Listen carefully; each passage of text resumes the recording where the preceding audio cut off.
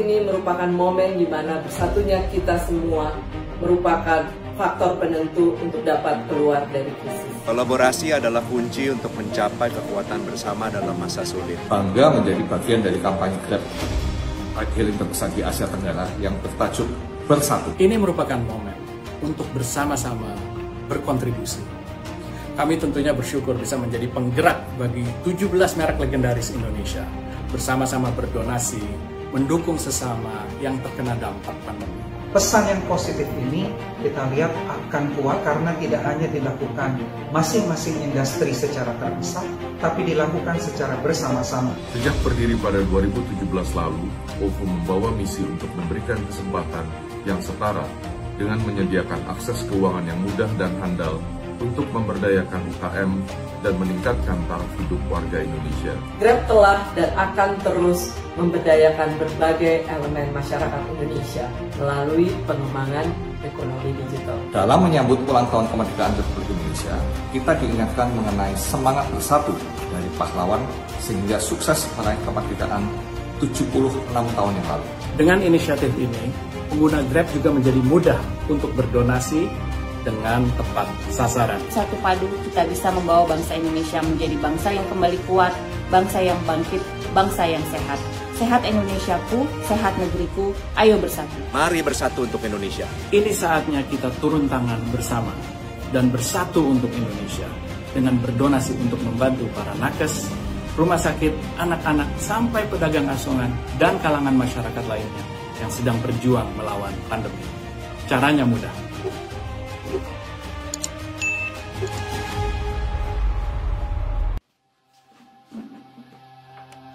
Apa itu batik? Batik bukan hanya sekedar kain. Batik adalah saksi perjalanan hidup kami. Turun-temurun, batik telah mengikuti segala langkah dan kembang yang kami raih. Dari gendongan bayi, menjadi seragam sekolah, hingga akhirnya mampu hidup mandiri. Batik adalah kebanggaan kami. Karya Adiluhung yang akan selalu kita junjung di tengah kehidupan sehari-hari. Batik adalah identitas kami, membuat kami mengerti bahwa sejauh apa pun kami merantau pergi, kami tak akan lupa dengan jati diri. Batik adalah bagian dari kami, warga Jawa Tengah.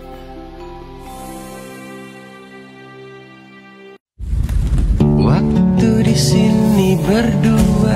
Ku bayangkan indah rasanya bersatu. Buka, buka, buka, buka batasan bahu membahu. Arungi waktu yang jemu Biar happy Ulurkan tangan Jangan sungkan membuka hati Suplai hiburan dan usir kesepian. Tuang semangat buat yang terjaga Beri asupan. Ah, Berbagi kasih asupan hangat. Mari saling jaga Mari bersatu. Indonesia bersatu. Aku bantu kamu Kamu bantu aku kita saling bantu, saling bantu. Bersatu untuk Indonesia Bersatu untuk Indonesia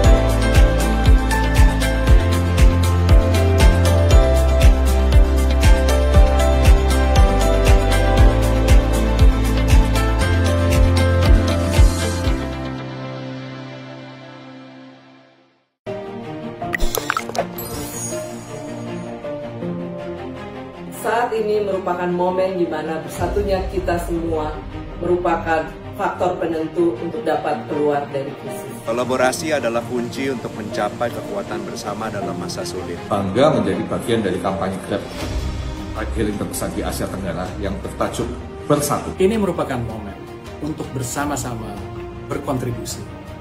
Kami tentunya bersyukur bisa menjadi penggerak bagi 17 merek legendaris Indonesia, bersama-sama berdonasi, mendukung sesama yang terkena dampak pandemi.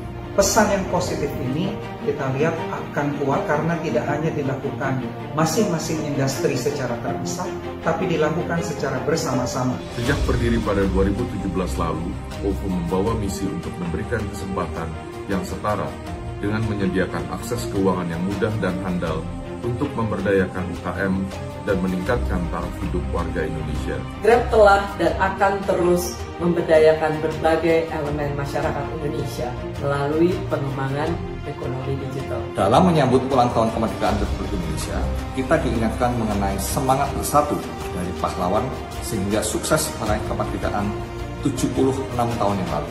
Dengan inisiatif ini, pengguna Grab juga menjadi mudah untuk berdonasi dengan tepat sasaran. Satu padu kita bisa membawa bangsa Indonesia menjadi bangsa yang kembali kuat, bangsa yang bangkit, bangsa yang sehat.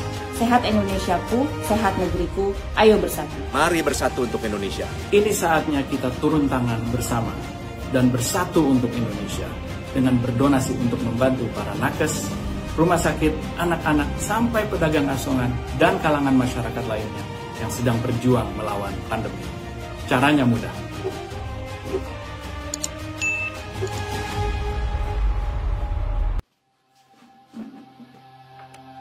Apa itu batik? Batik bukan hanya sekedar kain. Batik adalah saksi perjalanan hidup kami. Turun-temurun, batik telah mengikuti segala langkah dan kembang yang kami raih. Dari gendongan bayi, menjadi seragam sekolah, hingga akhirnya mampu hidup mandiri. Batik adalah kebanggaan kami, karya adiluhung yang akan selalu kita junjung di tengah kehidupan sehari-hari. Batik adalah identitas kami, membuat kami mengerti bahwa sejauh apa pun kami merantau pergi, kami tak akan lupa dengan jati diri. Batik adalah bagian dari kami, warga Jawa Tengah.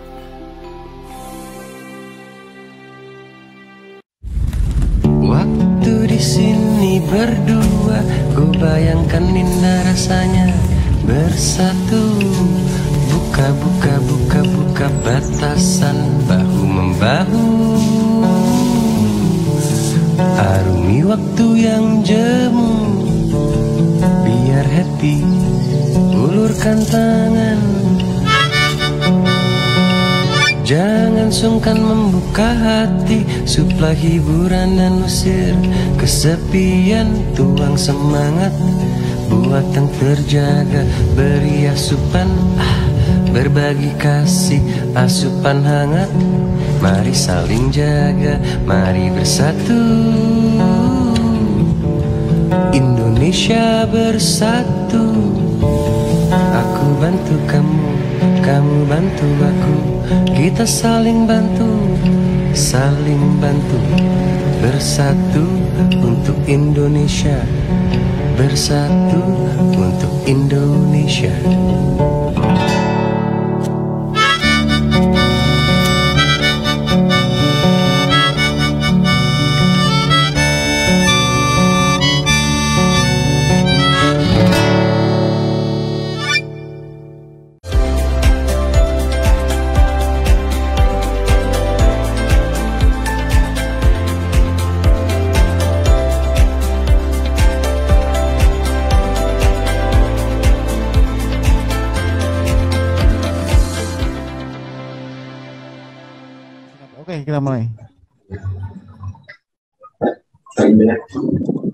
Assalamualaikum warahmatullahi wabarakatuh. Selamat siang, Tribuners. Waalaikumsalam.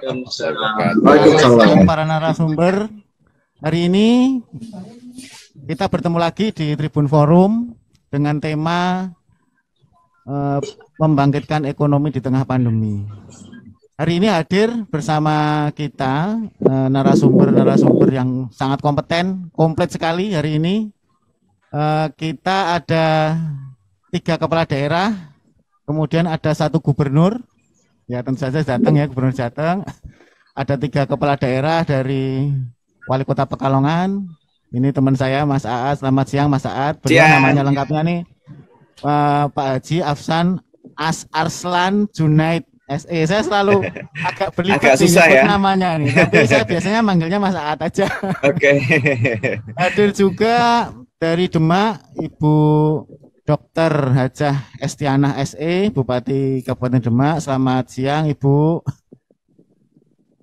Siang, Pak. Ya, terima kasih Bu sudah menyempatkan waktunya. Eh, tadi sudah hadir juga sebenarnya dari Cilacap Pak Haji Tato, tapi kayaknya ada trouble di jaringan. Dia keluar nanti mudah-mudahan bisa masuk lagi. Mas Ganjar juga barusan kontak, beliau masih bersama Pak Menko. Eh, nanti setelah itu akan segera bergabung dengan kita. Hadir juga bersama kita eh, Bapak Ibu ada nah ini baru masih fresh ini Pak Rektor terpilih Unika. Nah, selamat siang Pak Rektor, beliau Pak Dr. Ferdinand Indiarto. Selamat siang Mas Erwin, selamat siang Bapak Ibu. Selamat siang. Jadi sehat, selain salam bahagia. Selain rektor, beliau ini pemain bulu tangkis Bapak Ibu. Hati-hati nanti kalau kena smash ya. Biasa main dengan saya. Sering menipu kalau main bulu tangkis. Eh, kemudian juga hadir Bapak Indra Novianto, beliau eh, PLT ya, Mewakili Cabang BNI Kantor Wilayah 5 Semarang. Kantor Wilayah 5 ini mewakili eh, membawai Jateng DIY ya Pak Indra ya. Jateng bagian utara, Pak. Oh, Jateng Jateng bagian utara Ya. ya, ya. Kebetulan harusnya Pak Arief selaku pemimpin wilayah, tapi kebetulan beliau cuti, jadi saya mewakili beliau. Siap, siap Pak Indra. Terima kasih Pak Indra atas waktunya. Nah, ini juga hadir bersama kita ini Bapak Ibu. Saya yakin pasti pernah dengar minimal atau pernah mampir ke rumah makannya. Beliau adalah Pak Teguh Sutrisno. Nah, kita kenal Pak Teguh ini adalah owner dari warung makan Bufat di Semarang. Kepala Manyong ini saya kalau ada tamu dari luar kota pasti ngajaknya ke sana. Hari ini kita akan ngobrol eh, bisa dikatakan topiknya dikatakan berat ya berat tapi kita ngobrol yang ringan-ringan saja. Tentu saja tapi tidak menghilangkan esensi dan mudah-mudahan obrolan kita bermanfaat. Eh, kita tahu Bapak Ibu kemarin Presiden Jokowi dalam pidato eh, kenegaraan kemarin 16 Agustus mengatakan eh, badai pandemi yang paling berat nih sebenarnya sudah berhasil kita lalui. Eh, kita juga ah ini hadir juga Pak Tato baru saja masuk. Assalamualaikum Pak Haji Tato Pak Muji Bupati Cilacap. Apakah suara saya bisa didengar dengan baik Pak Haji Tato? Tes dulu suaranya.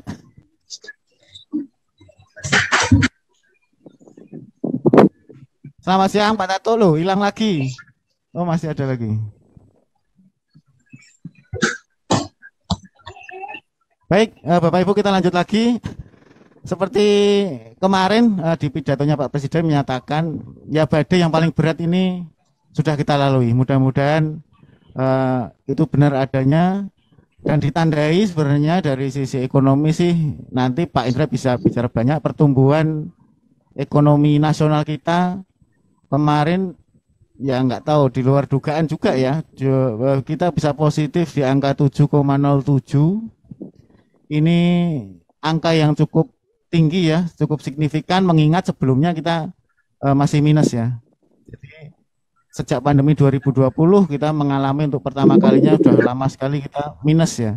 Kemudian kembali ke 707 Jawa Tengah sendiri menggembirakan juga kita ada di angka 5,66 persen pertumbuhan ekonomi kita meskipun di bawah nasional tapi provinsi Jawa Tengah cukup eh, signifikan juga kemajuannya mengingat eh, triwulan sebelumnya kita minus. Nah, di sini kita ada perwakilan dari pemerintah, kemudian juga ada dari akademisi, ada dari pelaku usaha. Kita ingin ngobrol-ngobrol. Mungkin pertama eh, saya beri kesempatan kepada Pak Aat ya, Mas Aat dari Pekalongan nih Mas cerita dulu Mas. Pekalongan ini kan kita kenal juga sentra batik ya. Iya, Mungkin mungkin gimana Mas kondisi eh, sekarang terakhir Mas? iya. eh, batik ini tentunya juga sangat berpengaruh di masa pandemi, tetapi uh, Kota Pekalongan ini kan memang sebagai sentra batik, jadi ada saja untuk uh, para pengrajin batik ini membuat terobosan. Nah, kemarin di masa pandemi ini ternyata terobosan batik di Kota Pekalongan ini adalah pembuatan daster. Ya, daster ini uh, sempat booming dan laku sekali uh, para pengrajin UMKM ini membuat uh, sebulan bikin seribu, sebulan bikin sepuluh ribu, ini selalu uh, habis atau uh, sold out ya.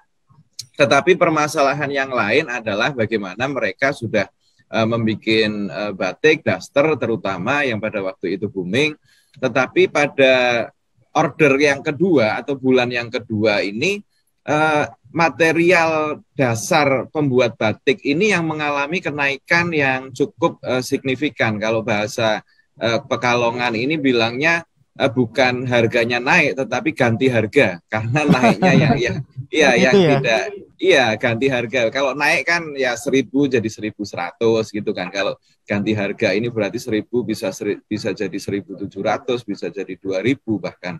Nah ini yang kita mengalami masih mengalami uh, kesulitan. Tentunya uh, apa ter, langkah salah satu langkah upaya kita ini adalah kita sebetulnya sudah memprogramkan untuk material center ya, material center bahan baku uh, pembuat batik baik itu bahan dasar mori, obat batik uh, maupun apa lilin untuk membuat batik ini uh, sebetulnya sudah kita konsep dengan Kementerian Perdagangan dulu sebetulnya sudah hampir matang. Itu juga untuk uh, menstabilkan harga harga bahan dasar uh, batik. Tetapi uh, ternyata uh, di kementerian ada ada reshuffle ada pergantian menteri dan sebagainya. Ini akhirnya yang masih mengalami kendala. Tapi langkah-langkah kita ini sih mudah-mudahan dengan pelatihan-pelatihan terus dengan apa uh, pelatihan ekspor terutama ya ini ini yang harus kita lakukan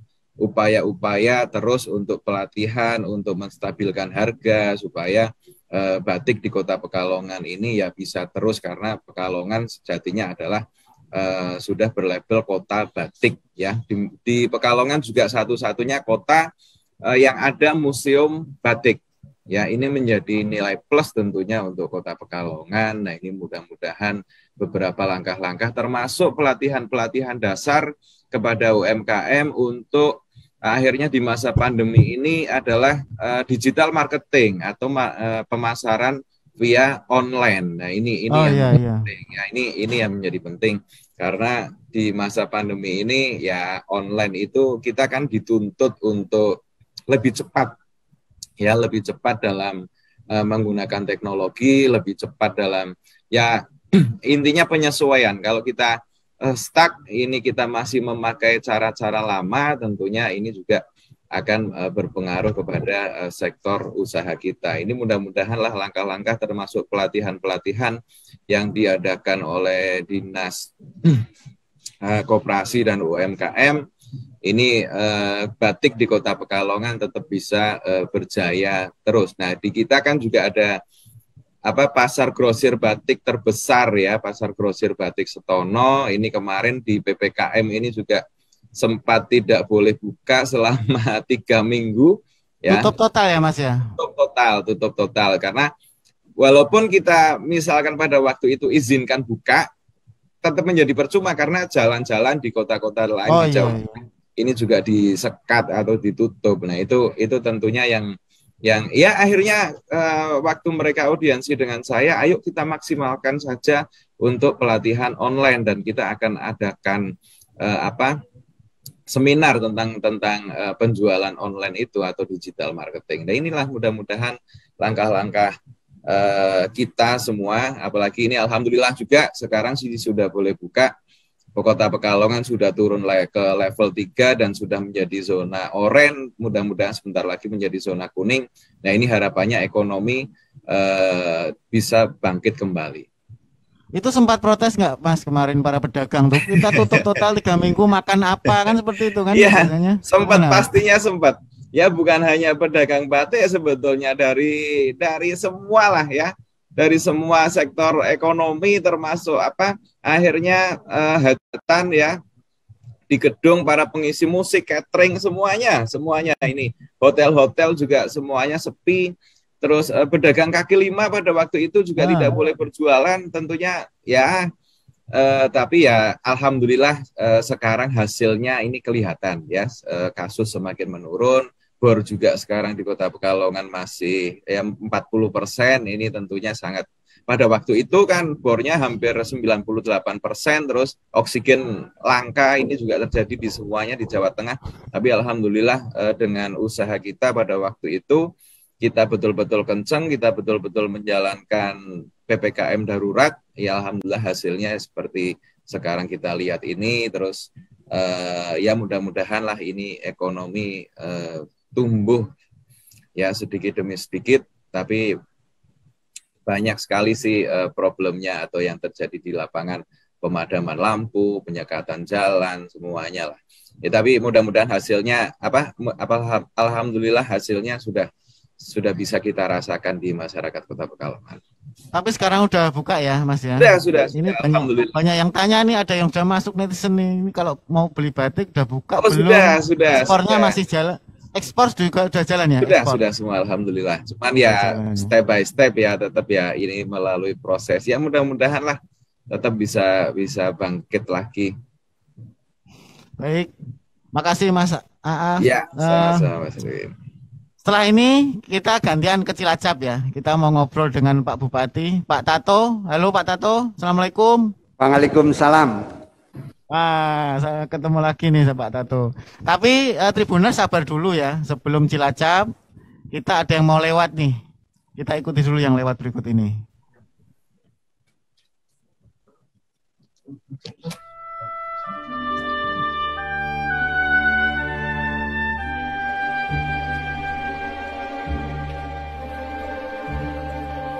Tanah airku tidak kulupakan.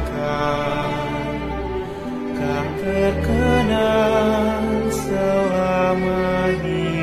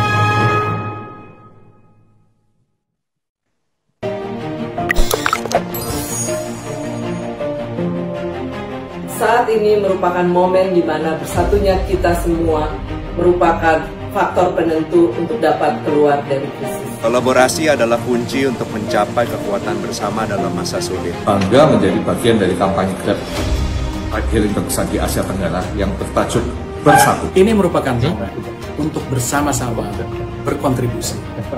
Kami tentunya bersyukur bisa menjadi penggerak bagi 17 merek legendaris Indonesia bersama-sama berdonasi, mendukung sesama yang terkena dampak pandemi. Pesan yang positif ini kita lihat akan kuat karena tidak hanya dilakukan masing-masing industri secara terpisah, tapi dilakukan secara bersama-sama. Sejak berdiri pada 2017 lalu, OVO membawa misi untuk memberikan kesempatan yang setara dengan menyediakan akses keuangan yang mudah dan handal untuk memberdayakan memberdayakan UKM dan meningkatkan taraf hidup warga Indonesia. Grab telah dan akan terus memberdayakan berbagai elemen masyarakat Indonesia melalui pengembangan ekonomi digital. Dalam menyambut ulang tahun kemerdekaan Republik Indonesia, kita diingatkan mengenai semangat bersatu dari pahlawan sehingga sukses meraih kemerdekaan 76 tahun yang lalu. Dengan inisiatif ini, pengguna Grab juga menjadi mudah untuk berdonasi dengan tepat sasaran. Satu padu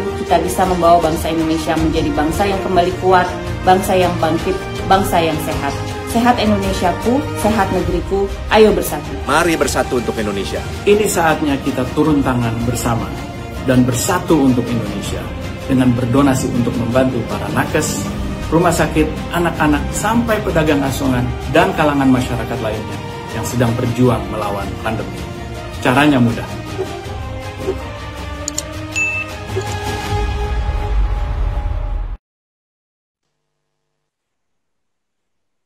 Baik Tribuners, kita kembali lagi dalam Tribun Forum dengan tema bangkitkan ekonomi di tengah pandemi. Saya ingin menyapa Bapak Bupati di ujung barat kita Pak Haji Tato S. Pamuji, Bupati Cilacap. Sehat Pak Tato? Sehat, Pak. Alhamdulillah. Iya, Gimana Pak? Tribuners, Pak Tato ini atlet jalan kaki ya, dia jalan lari masih kuat setiap hari beliau pagi jalan kaki 5 km 10 setiap kilo. hari 10 kilo. oh malah 10 nambah sekarang terakhir 5 sekarang Iya. 10 ya Karena umurnya baru 65. di usia yang baru 65 setiap hari tiap pagi jalan 10 km Pak Tato Juli kemarin di Cilacap sempat tinggi ya angka COVID kondisi terakhir sekarang bagaimana Pak Tato Eh, kondisi sekarang tentunya sudah dengan PPKM ini kita tekan. Jadi turun, turun, turun. Sekarang sudah hasilnya sudah bisa dirasakan. Yaitu tinggal eh, turunnya hampir 50 persen, lebih bahkan. Hmm. Tingkat isian di rumah sakit juga sudah jauh turun Di ya. rumah sakit di sekarang bor aja tinggal 28 persen. Mungkin kalau hari ini tadi laporan tinggal 25 persen. Hmm. Iya. Alhamdulillah. Itu gimana caranya kemarin bisa cepat turun itu? Eh, pertama, saya itu membuat pinwheel. Pinwheel itu melibatkan OPD OPD para pejabat tak bagi tak bagi. Ini ada 24 kecamatan.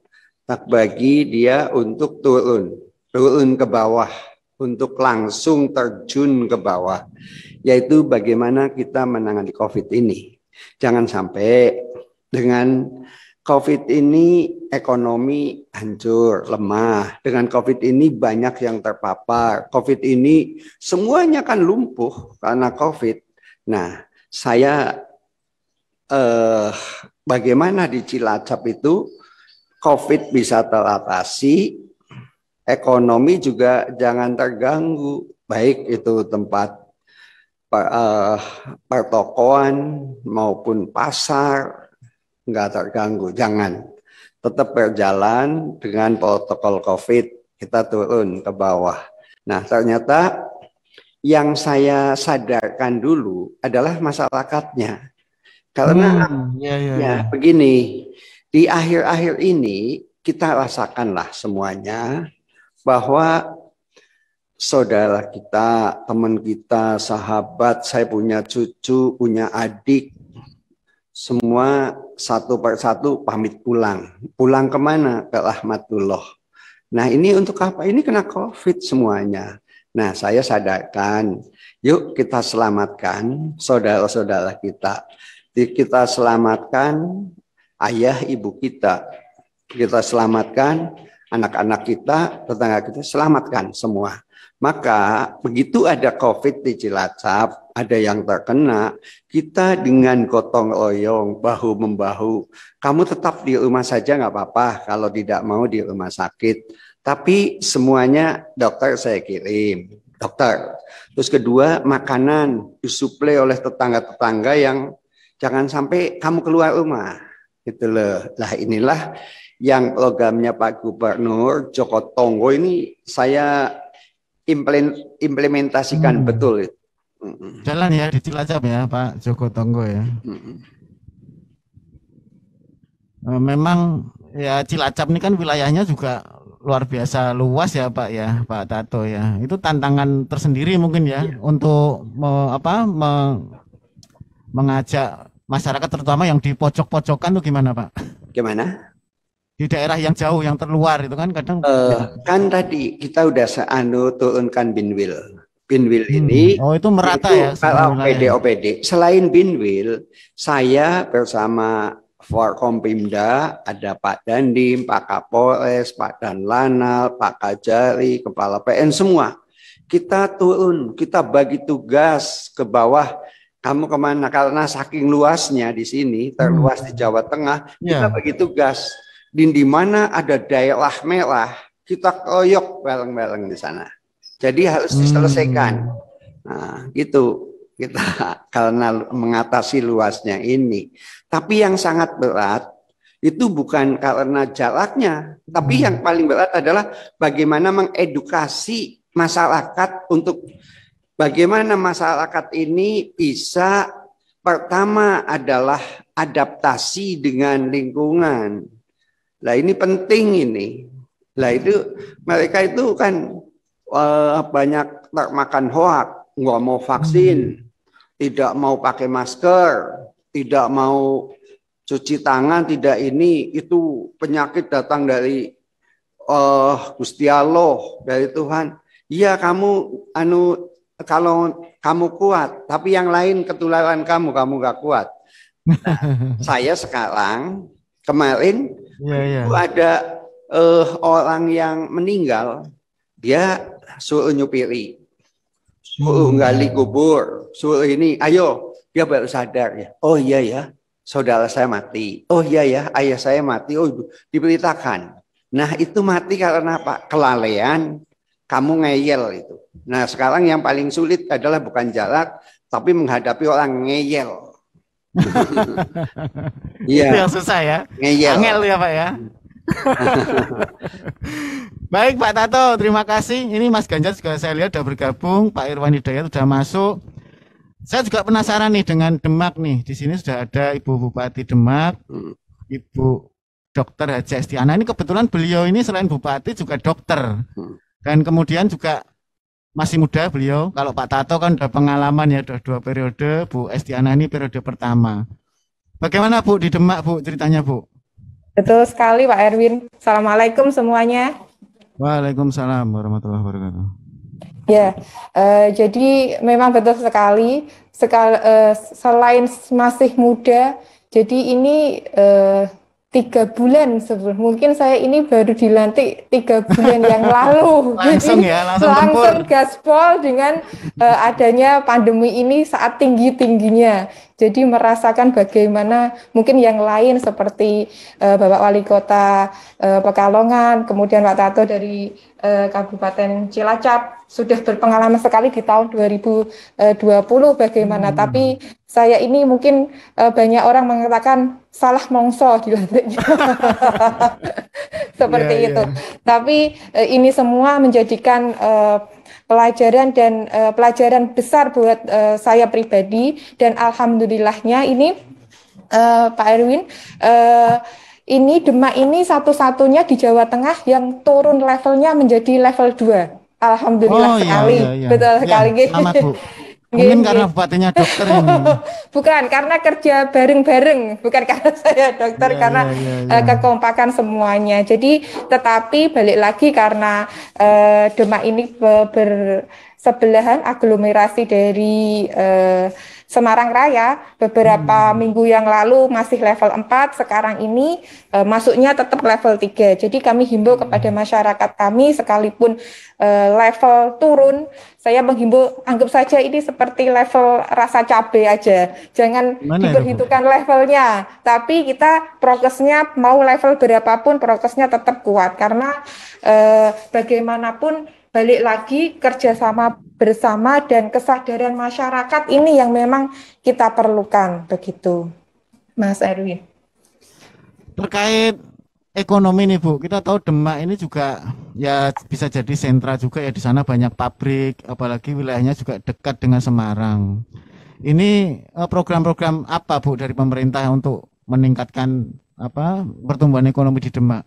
Apa yang sudah dilakukan? Nah, tersuwun eh, Pak Erwin. Jadi begini, eh, secara eh, geografis kita sebagian besar memang eh, terdiri dari sektor pertanian dan perikanan, kelautan yang notabene eh, dengan adanya pandemi ini sebenarnya tidak begitu terpengaruh. Tetapi sektor pariwisata ini benar-benar tutup total dengan PPKM darurat seperti kemarin. Kemudian adanya eh, kita memang eh, sebagian besar juga adanya industri di tempat kita. Jadi eh, kita eh, balik lagi tetap dengan adanya pandemi seperti ini kita melonggarkan semuanya. Jadi karena memang angka PHK eh, juga tinggi, jadi kita eh, menarik juga untuk para investor, kemudian eh, kita mempermudah semua perizinan. Kemudian untuk para UMKM kita ada beberapa program yang tetap menguatkan para, eh, mereka. Dan kita eh, sampai mempunyai perda di 2019 itu sebelum eh 2021 Perbub nomor 9 2021 itu kita eh, mengajak para masyarakat dan ASN itu untuk beli produk dari UMKM. Jadi Oh, ada biar perdanya ya, khusus ya. perbubnya, perbubnya. Oh, perbub ya, ya, Ya, perbub perbubnya nomor 19 2021 itu Hmm.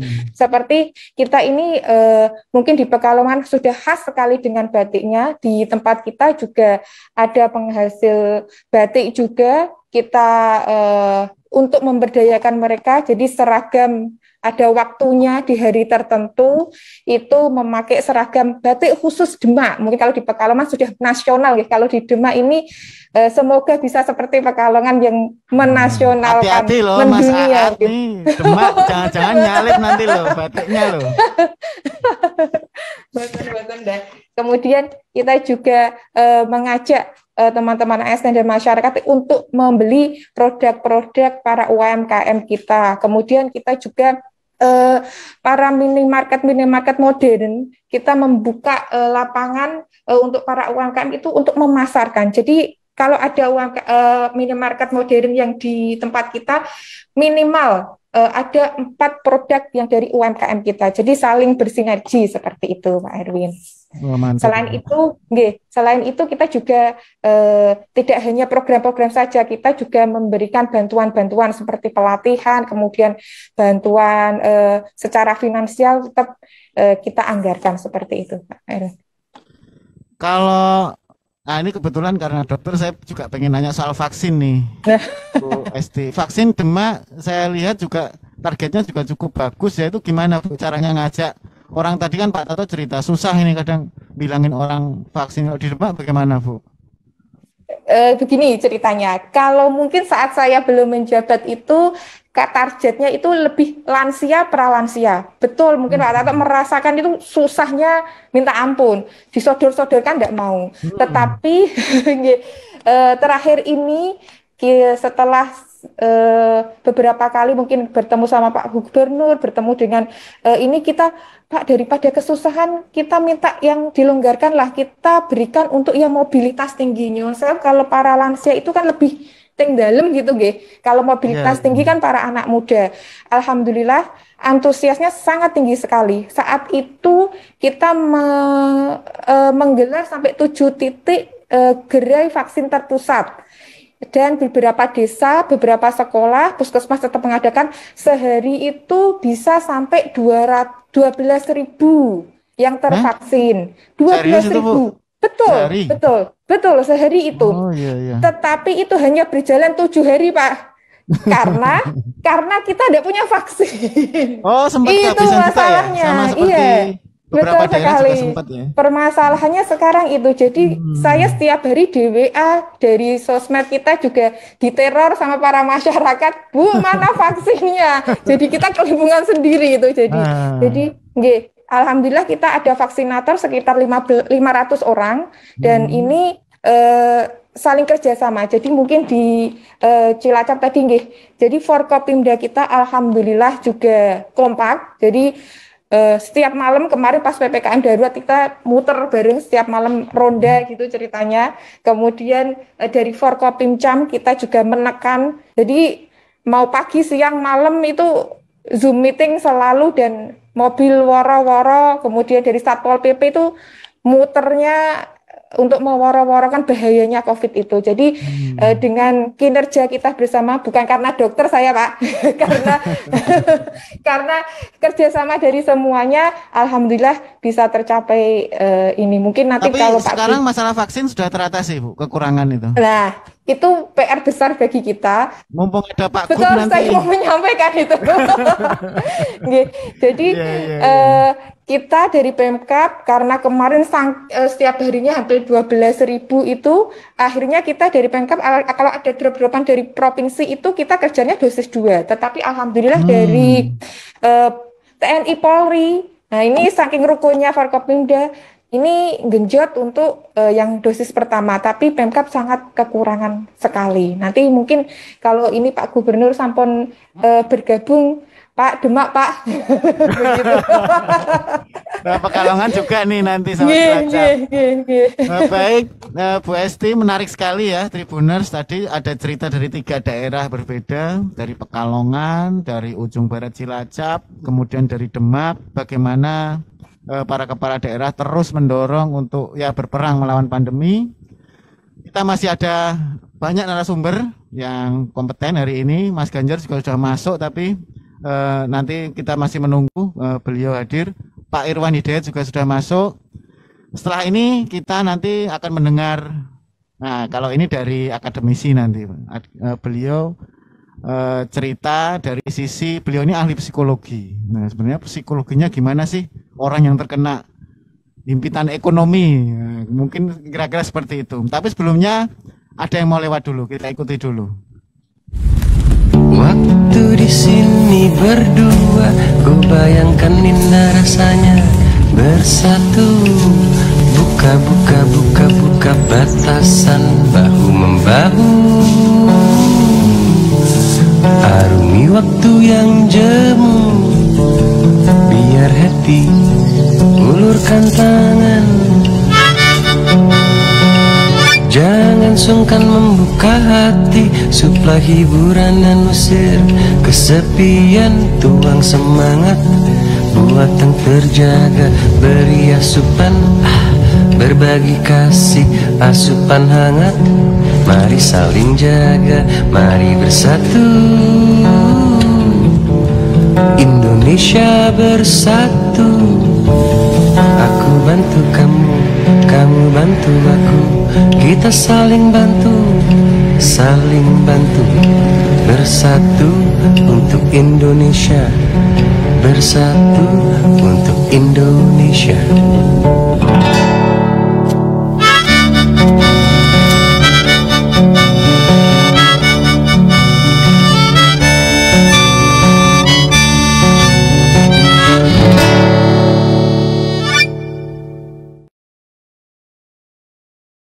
pemerintah daerah untuk kita meningkatkan pertumbuhan ekonomi. Tadi di awal sudah saya sampaikan Jateng positif ya dan cukup signifikan naiknya 5,66 persen. Saya mau mengucapkan selamat dulu ke Mas Ganjar dan kita semua. Eh, Pak Presiden kemarin juga sudah bilang eh, badai terberat sudah kita lalui. Mudah-mudahan dengan pertumbuhan ekonomi nasional 7,06 di bulan-bulan berikutnya, tahun berikutnya kita bisa survive. Eh, Mas Ganjar, monggo Mas Ganjar, bagaimana eh, upaya Pemkap, eh, Pemprov eh, Jawa Tengah dalam upaya membangkitkan e- ekonomi di tengah pandemi? Monggo Mas. Ya, yang pertama tentu saja data sainsnya mesti benar ya. Kalau kemudian hari ini kita angka nasionalnya 7 persen, angka 5,6 persen di Jawa Tengah, jangan gembira dulu. Karena apa? Yang terjadi itu sebenarnya eh, belanja pemerintah untuk konsumsi. Jadi belum belum produktif-produktif amat sebenarnya. Jadi jangan tergesa-gesa dulu, terus kemudian semua bertepuk tangan gitu ya. Maka hari ini saya perintahkan seluruh OPD saya, mudah-mudahan di kabupaten juga, untuk aware, untuk peduli pada apa? Pada kondisi sektor masing-masing. Contoh, contoh ya, di luar ekonomi dulu. Hari ini saya minta untuk menghitung berapa sebenarnya anak yatim piatu yang ditinggal eh, meninggal oleh orang tuanya. Siapa yang mau peduli ini? Ya, ya. Ini kita minta untuk didata. 7.000 sekian lah yang sudah memasukkan. Kalau nggak salah ada eh, berapa tiga atau empat kabupaten saja yang belum memberikan masukan. Awareness, awareness ini penting untuk dimunculkan. Saya minta kepala dinas pendidikan saya untuk meriset anak-anak kita yang sekolah itu sebenarnya posisinya baik-baik saja atau stres. Jangan-jangan juga ini stres karena tugas dari guru banyak gitu ya. Atau jangan-jangan yang stres orang tuanya juga gitu. Nah, Jadi itu Mas, rumah saya Iya, kayak gitu, ini Mas. kita minta untuk menghitung.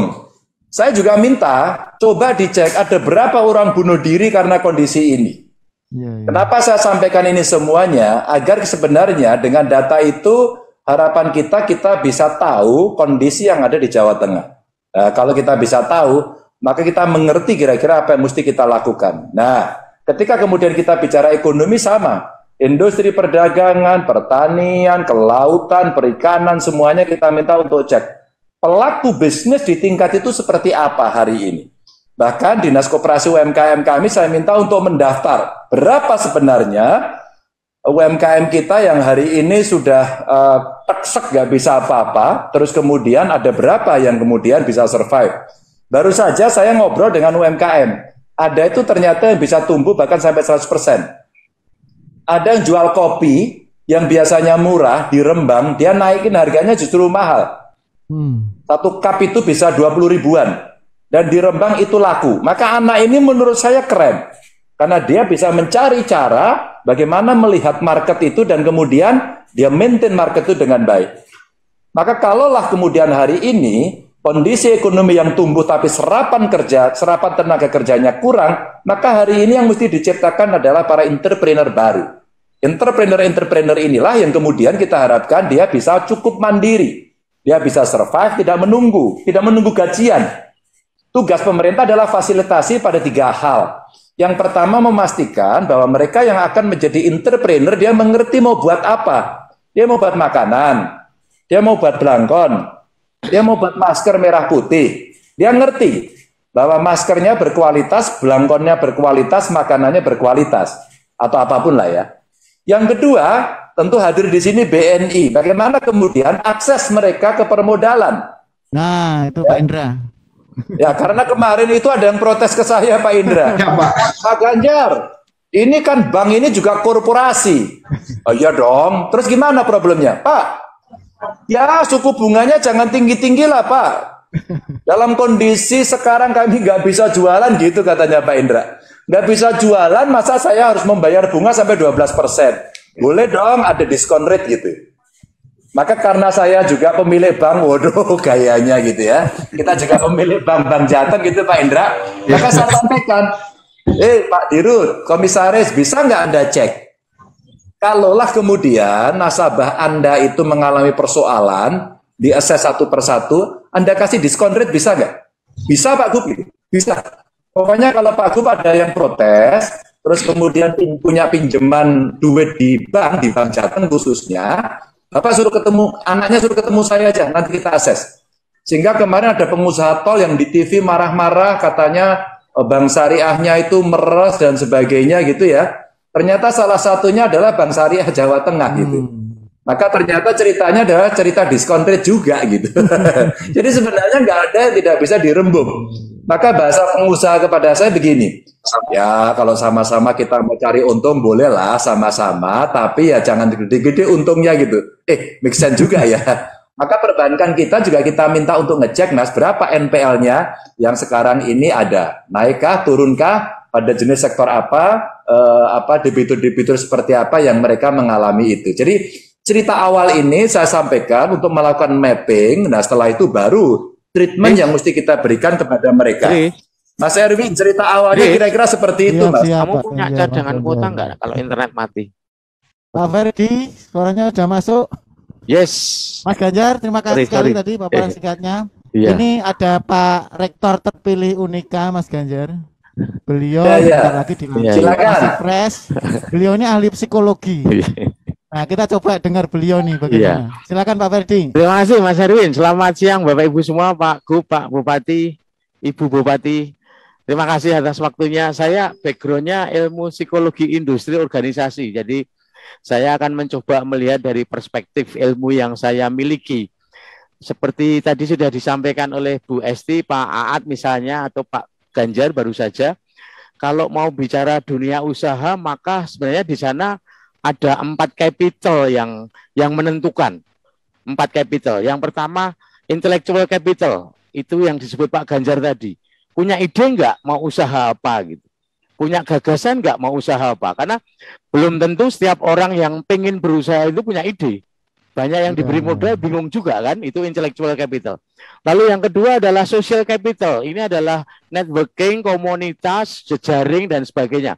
Karena itu akan bermanfaat, berguna untuk entah itu pemasaran, untuk modal bersama dan sebagainya. Lalu yang tanda petik dari sisi psikologi itu namanya psychological capital atau sering disingkat PsyCap. Dalam banyak referensi dan penelitian ini yang menentukan sekali gitu. Jadi Nah, justru ini yang penting ya. Iya, jadi ada empat komponen dalam psychological capital. Yang pertama adalah hope, harapan. Harapan itu harus hadir karena harapan adalah penyalur energi. Kalau orang sudah nggak punya hope, nggak punya harapan, eh, jangankan berpikir ide apa gitu. Sudah nggak punya keinginan untuk menemukan ide. Nah, harapan ini bisa dihadirkan Mas Erwin. Jadi peran pemerintah daerah, baik itu Pemprov maupun Pemkap, Pemkot, saya pikir di situlah menghadirkan harapan. Dengan dengan level masing-masing, garis besarnya kira-kira blueprint apa yang akan dilakukan oleh Pemprov dan Pemkap atau Pemkot setelah pandemi ini atau dalam jangka pendek ini. Itu harapan yang tentu harus dihadirkan. Oh ternyata pemerintah sudah menyiapkan langkah-langkahnya gitu. Itu akan memberi harapan gitu. Monggo bentuknya macam-macam. Kalau tadi Pak Gub mengatakan harus diedukasi supaya mereka punya ide mau usaha apa gitu. Pengalaman saya membantu Baper Masper beberapa kali di beberapa Pemkap, ide itu ada, hanya tidak pede Pak Ganjar. Masyarakat kita itu termasuk orang-orang yang tidak pede. Hobinya itu membuat daftar jangan-jangan gitu loh. Jangan-jangan nanti nggak laku, jangan-jangan nanti nggak ada yang beli, jangan-jangan, eh, jadi semua jangan-jangan gitu. Itu yang harus dihadirkan oleh Pemprov maupun Pemkap, Mas Erwin. Nah, kalau harapan sudah hadir, maka energinya membesar.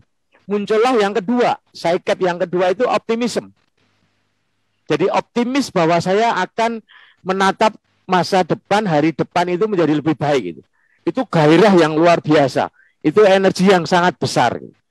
Nah, optimisme ini akan membentuk yang namanya efikasi, Mas. Efikasi. Efikasi itu keyakinan aku bisa melakukan ini. Aku bisa mengeksekusi ini.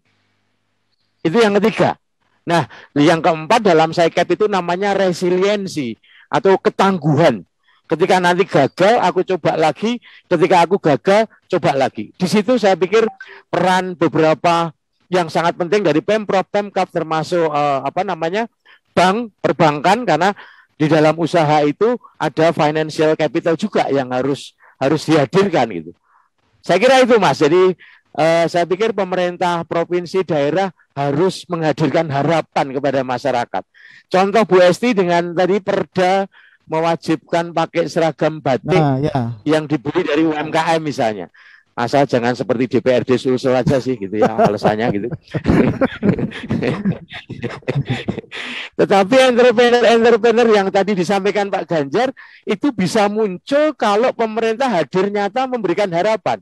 Misalnya Pak Ganjar bisa tanda petik memaksa Mas Indra bunganya turun dong untuk entrepreneur baru khusus untuk yang baru gitu.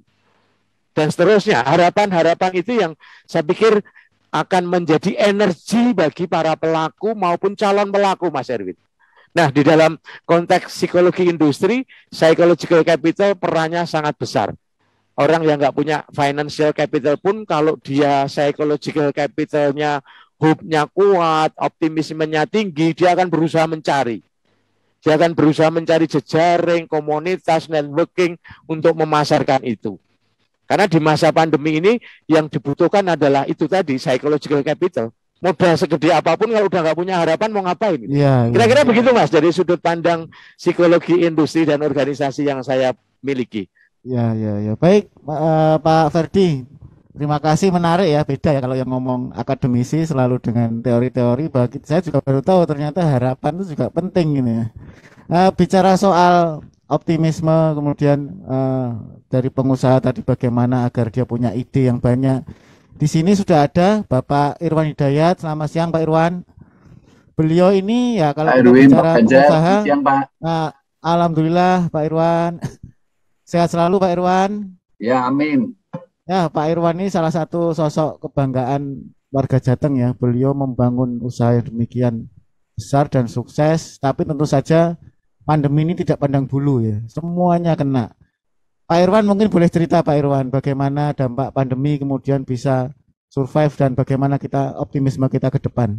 Ya, jadi eh, eh, pandemi ini ya kalau kalau saya bisnis saya ini cocok dengan pandemi. Itu bisnis. Kebejan Pak Ganjar ini memang bejo ya eh, saya ini Pak Ganjar. Benar, benar, benar ya. Ini termasuk yang tumbuh ini karena minum jamu, minum obat itu. ya. Tapi menurut saya handicapnya itu adalah pertama bagaimana menjaga kelangsungan produksi ya itu terus yang kedua waktu pertama kali itu kita kan masuknya ke pasar-pasar eh, distributor eh, yang konvensional gitu jadi ya tapi begitu kena pandemi ada lockdown kami online ya. Jadi ini masa transisi itu menghambat kami, tapi kami berhasil mengatasi itu yang masalah distribusi online ya. Terus yang ketiga, orang selalu ngomong sama saya, "Wah, woi bejo tenan yo. Bisnisku kok cocok yo kambe." Iya, iya, iya, iya. Gara-gara itu katanya Anda sukses enggak? Menurut saya ya kalau nggak ada pandemi bisa jadi semua bisa jadi lebih baik, Pak. Itu orang ngomong aja gitu. Karena apa? Semua itu kan masalah daya beli. Kalau daya belinya enggak ada, enggak ada bisnis yang bisa sukses. Tapi ya minimal minimal saya eh, selalu optimis ya bahwa kami buka hotel 13 Agustus waktu pandemi. Karena hidup harus berlangsung nggak bisa berhenti nggak bisa dipending ya. Nah kalau mengenai eh, masa depan gitu ya saya melihat pengalaman ya Jateng ini punya masa depan yang luar biasa dalam segala hal masa depannya itu bagus saya bangun hotel di Semarang, orang ngetawain.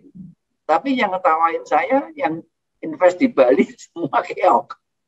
Karena ya kebetulan di tengah jalannya udah jadi ya. Terus saya selalu mengatakan, Sema, Jawa Tengah itu, terutama Semarang ya, itu pantai. Kemudian infrastrukturnya siap, industrial estate-nya siap. Itu kalau nanti masuk ya, Semarang itu bisa jadi hebat sekali. Jawa Tengah secara umum menjadi hebat. Yakin saya kalau itu. Karena itu kalau enggak saya enggak mau dong bangun hotel pada tanggal 13 Agustus di tengah pandemi hebatnya kayak gitu. Dan memang kalau orang tadi yang dikatakan Pak Sopo ya tadi dari Pak Ferdi. Ferdinand ya Pak. Jadi masa depan itu sama dengan harapan. Memang harapan itu nomor satu. Nah, saya ingin membatasi aja. Saya enggak, enggak tahu yang lain-lain. Tapi yang pasti saya melihat bahwa semua sudah siap di Jawa Tengah. Ya. Uh, infrastrukturnya siap, semuanya siap. Pak Ganjar ya sudah siap ya Pak ya. Pak Ganjar sendiri sudah siap sekali. Terus saya membayangkan ya bahwa masa depan itu memang benar harapan. Orang kalau nggak ada harapannya itu habis dah. Banyak orang yang bisa survive karena punya harapan. Banyak yang pernah dipenjara di Auschwitz di mana-mana. Terus yang kedua, saya ingin me- me- me- membayangkan ya bahwa bisnis saya kan obat-obat herbal. Nah, di dalam orang selalu mengatakan bahwa obat herbal itu kalah dari obat. Tapi sebenarnya enggak. Obat herbal itu ya masa market size-nya harusnya bisa lebih gede daripada obat. Bisa lebih besar dari obat. Karena obat itu hanya diminum pada waktu sakit. Yang umum itu. Mungkin saya lihat mungkin 80 apa itu? Saya lihat, sorry, market size-nya itu 80 persen, market share-nya itu, itu orang sakit gitu. Nah, padahal kalau jamu itu bisa untuk tanaman-tanaman ya, makanan, bisa untuk suplemen, ya, bisa untuk pendamping obat, bisa untuk uh, tradisi minum jamu. Jadi market size-nya harusnya lebih besar. Karena kita kan tahu ya, pabrik jamu itu ada 1.600 sekian. Nah, pabrik obat 200. Pabrik obat salesnya mungkin 70-80 triliun. Tapi pabrik jamu harusnya bisa lebih. Bisa lebih kenapa? Karena dia ini minuman, dibeli bebas. Orang bisa minum dalam bentuk minuman, dalam bentuk pendamping obat, bisa dianggap bisa untuk COVID dan lain-lain. Nah itu itu harus menjadi harapan. Saya barusan menerangkan kepada uh, UKM-UKM ya bahwa jamu itu harus lebih besar dari obat salesnya. Karena dia diminum bukan orang sakit. Maka itu saya itu optimis gitu. Dan bagaimana supaya bisa menjadi besar itu? Supaya UKM-UKM kita itu tumbuh dengan baik. Sebab kalau kalau orang bilang, wah nanti kalau hebat yang menikmati perusahaan-perusahaan besar enggak. Karena kami ini punya keterbatasan gitu.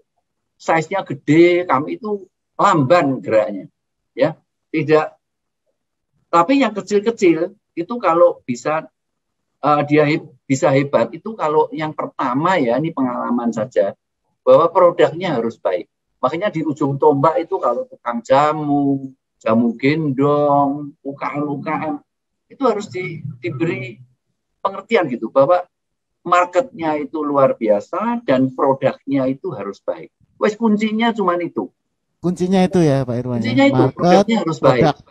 Kalau produknya Ya, tidak baik ya ma- marketnya kecil, Iya, iya, iya.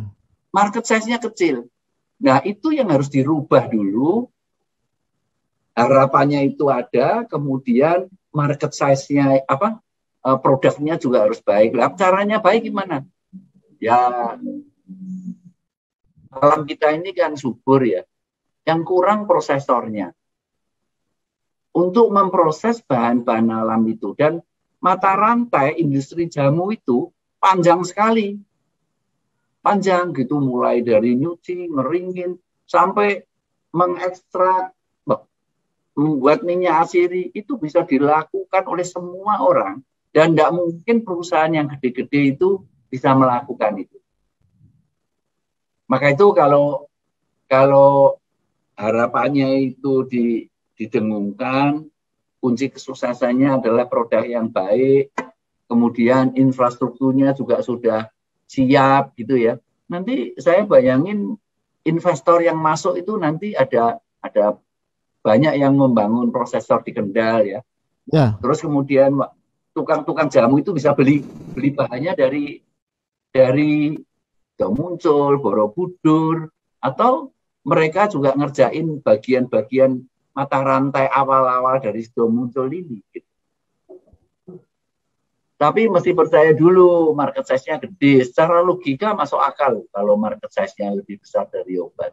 Nah, apalagi nanti Indonesia 2030 misalnya.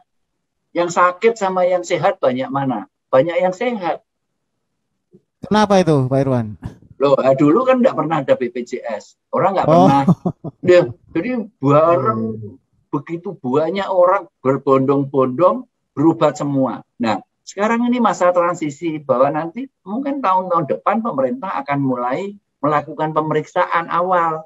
Jadi penjaga misalnya ya yang sederhana dulu cek kolesterol, kencing diabetes atau apa sehingga anak-anak karyawan-karyawan yang menerima BPJS itu bukan setelah sakit baru pergi tapi mulai dari awal dia mulai menjaga sehingga nanti yang sakit pasti kurang. Loh ini ini cuma logikanya, nanti kenyataannya bagaimana ya saya nggak tahu. Tapi ini cuma bayangan impian saya seperti itu. Yang sakit akan lebih sedikit.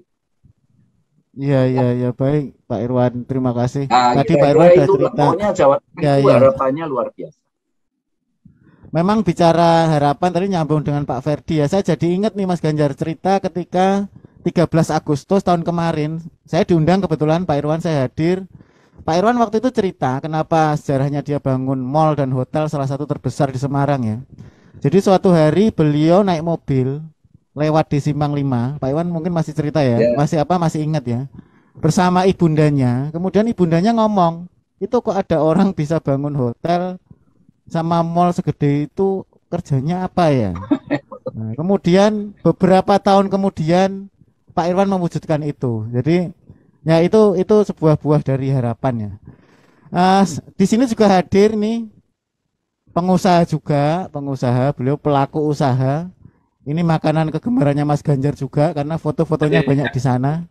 Eh, ke- kepala Manyong Bufat, Mas Ganjar tahu Oh, pasti. ada. Saya juga senang ke sana. Petil. Pak Teguh ini mewakili banyak sekali pelaku-pelaku usaha menengah ya, menengah ke bawah. Eh, Mas Teguh gimana sih ceritanya kemarin waktu ditutup total ya sempat tut- eh tidak ditutup tapi boleh dibawa pulang ya. Boleh dibawa pulang terus kemudian bagaimana Bufat mensiasati itu pengalamannya terus harapannya pemerintah itu sebenarnya bagaimana ini mumpung hadir nih eh, Pak Gubernur dengan Bapak Bupati dan Wali Kota. Silakan Mas Teguh. Baik, terima kasih atas waktunya. Selamat siang kepada bapak-bapak, ibu-ibu, terutama Pak Gubernur nih. Ini memang langganan langganan tetap warung Bufat nih. Sudah lama nggak ke warung Pak ya? Ya cuman apa eh, tek- apa sering bungkus sih memang suruh ajudan gitu. Oh, bungkus ya. mau Iya. ke sana kan nggak ke sana kan nggak boleh masa aku melarang terus rono gitu Tangkap Satpol PP nanti. Iya. iya gubernurnya tangkap salpol pp lah ciloko Iya. Eh, jadi eh, warung Kepala Manyu Bufat itu sejak pandemi memang sangat terasa dampaknya. Jadi pada awal pandemi itu keadaannya sama saat PPKM darurat. Da- Di mana di PPKM darurat itu kita tidak boleh makan di tempat. Yang boleh hanya uh, take away atau de- delivery. Cuman perlu diketahui bahwa kalau kepala manyong bufat itu karakternya tuh lebih nikmatnya tuh makan di tempat, Pak. Lebih nikmat makan di tempat. Jadi memang dampaknya sangat terasa sekali untuk apa warung kami gitu. Omsetnya saya lihat turun sampai 75 persen. Iya, itu memang sangat berat Selama berapa untuk bulan Mas? kami. Turun 75% itu selama berapa bulan? Itu sejak itu di awal pandemi tahun 2020 ya. Dan eh, saat PPKM darurat itu kondisinya hampir sama. Eh, kemudian setelah pemerintah eh, sedikit melonggarkan dengan PPKM level 4 itu memang boleh makan di tempat, cuman waktu makan dibatasi 20 menit gitu ya. Ya sih eh, kalau saya bilang sih sudah lumayan lah, alhamdulillah gitu. Cuman pada saat ppkm darurat itu memang eh, sangat berat sekali. Jadi sebisa mungkin warung warung kami itu bisa bertahan bagaimana caranya gitu. Sampai saya juga diskusi dengan karyawan saya. Ini kalau kondisinya begini, ya kita harus sama-sama prihatin saya bilang gitu. Salah satu gimana contoh- nih? Gajinya dikurangi atau ada pengurangan karyawan atau bagaimana? Ya, kurang lebih seperti itu ya untuk apa eh, gaji kita coba kurangi gitu ya. Kemudian untuk karyawan sih kita nggak kurangin, cuman kita rolling. Jadi dua hari, ma- eh, satu hari masuk, dua hari libur, kita gantian. Jadi kita juga sudah diskusi dengan karyawan ini bagaimana kondisinya supaya kita tetap bisa bertahan. Dan mereka juga memahami, ya udah nggak apa-apa, yang penting kita masih bisa buat makan kan gitu. Nah itu pada saat eh, ppkm darurat dan akhirnya sebagai apa kita sudah sebisa mungkin bagaimana caranya supaya bisa bertahan dan akhirnya sempat kita menyerah juga. Jadi sempat Oh, kita sempat, sempat menyerah.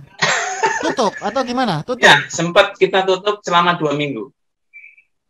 Tutup total ya. Tutup total. Jadi karena kita sudah tidak bisa untuk menutupi operasional gitu. Jadi sempat tutup total selama dua minggu. Nah akhirnya setelah dibuka ppkm level 4 dan diperbolehkan makan di tempat, nah itu kita mulai coba buka kembali. ya.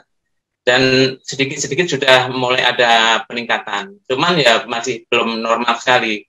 Karena di ppkm level 4 itu kan memang eh, satu eh, untuk perkantoran memang ini ya masih belum boleh masuk, masih WFH. Kemudian untuk tempat-tempat wisata masih ditutup.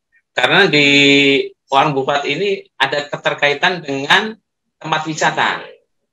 Jadi di tempat kita itu sudah termasuk wisata kuliner gitu. Jadi di tempat wisata itu ya ada efeknya juga ke tempat kita.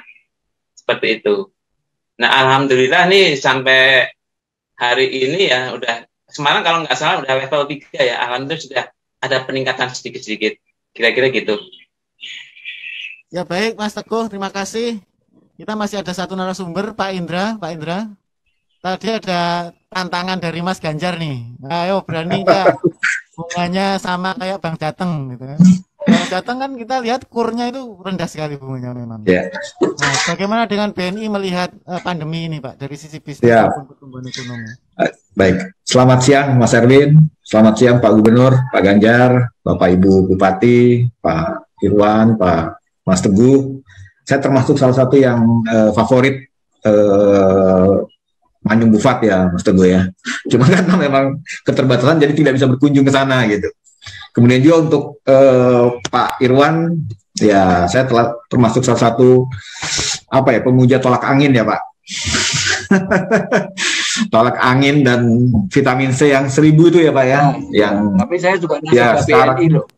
Oh siap, terima kasih Pak Irwan. terima kasih. Jadi betul apa yang disampaikan oleh Pak Gubernur tadi bahwa memang dalam kondisi pandemi seperti ini, kami pun berusaha untuk eh, apa ya eh, hidup berdampingan dengan pandemi. Jadi eh, kondisi pandemi ini memang memukul dari sisi UMKM. Jadi memang kami BNI melakukan tiga strategi terkait dengan eh, penanganan pandemi ini. Yang pertama, kami melakukan penyelamatan.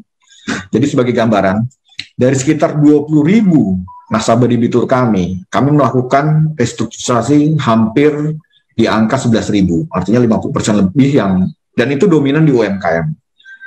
Eh, skim yang kami berikan pada saat awal pandemi, kami melihat, kami lakukan mapping, Pak Gubernur. Jadi kalau kami lakukan mapping, ada beberapa sektor yang memang eh, tutup sama sekali. Eh, sebagai contoh, perhotelan, transportasi, bahkan rumah makan yang di lingkungan kampus pun tutup. Nah, itu kami memberikan stimulus dalam bentuk penundaan pokok dan bunga sambil kita evaluasi ke depannya seperti apa. Selain dari penundaan pokok bunga, kami pun memberikan eh, terkait dengan keringanan bunga, kemudian perpanjangan jangka waktu, apa pun kami lakukan untuk membantu UMKM.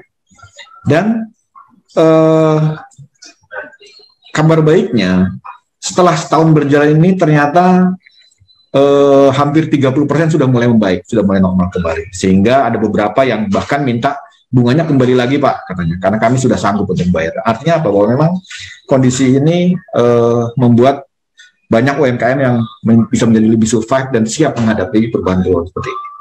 Itu ada hal-hal yang kami lakukan terkait dengan bagaimana memulihkan, bagaimana menyelamatkan UMKM. Kemudian yang kedua adalah melakukan usaha untuk mendorong program pemulihan.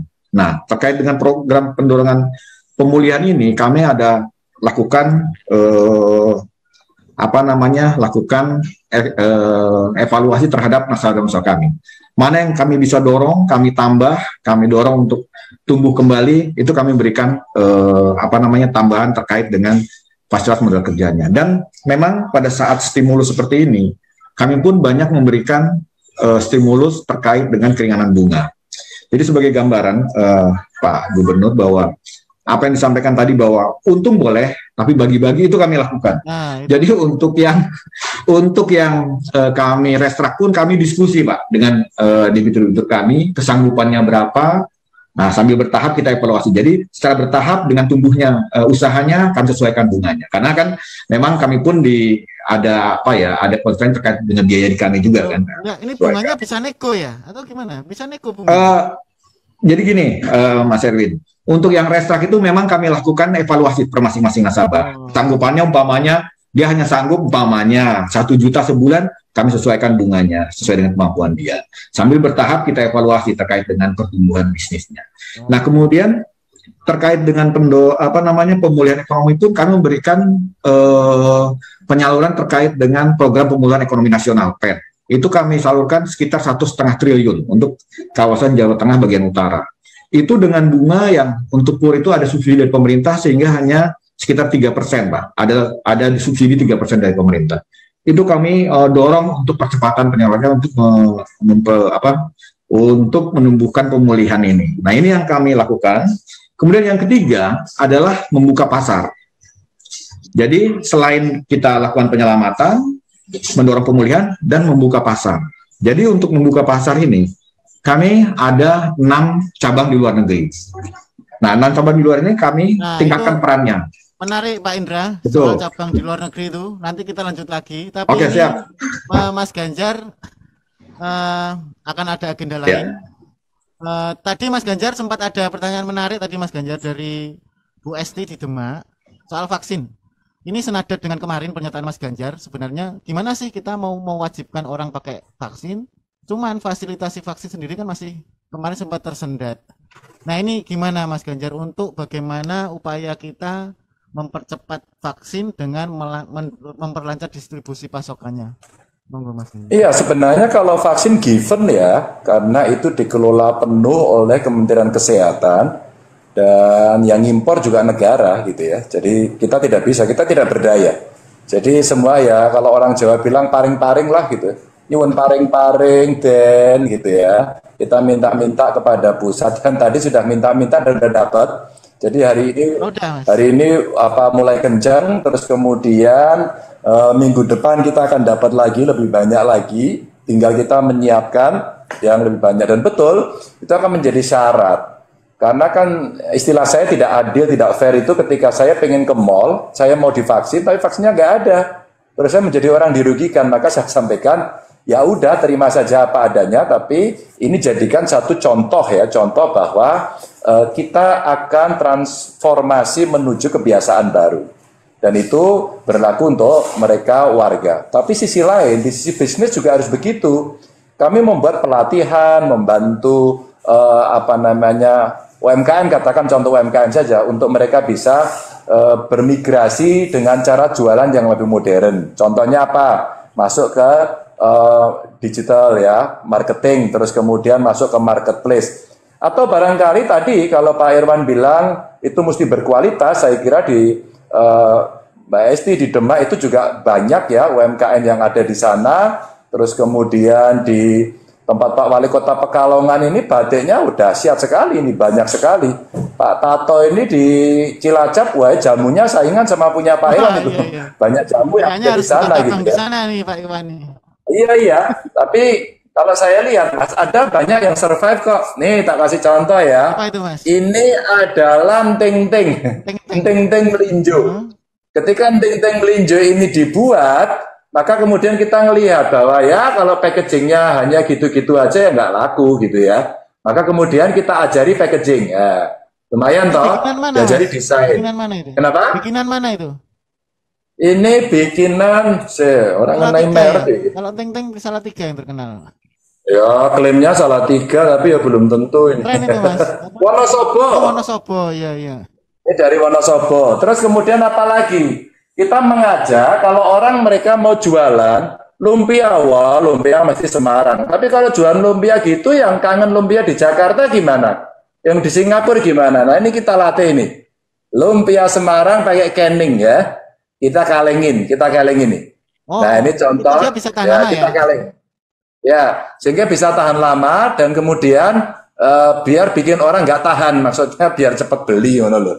Terus kemudian ada juga, ah ini abon kelapa lah, abon kelapa memang bisa kula jenenge serundeng, baik. Rundeng ya. Ya, ini abon kelapa. Tapi kalau packagingnya kayak gini, orang akan tertarik kan dibawa, diolah-olahi siapa yang dulu eh, sering di kampung pakai apa makannya pakai serundeng ya kan. Terus kemudian istilahnya dia apa kreminen gitu ya. Sekarang Pasti tahu lah. ada mas. Jadi desa mesti ngerti gitu ya. Nah, eh, sekarang banyak mereka jadi menteri pak.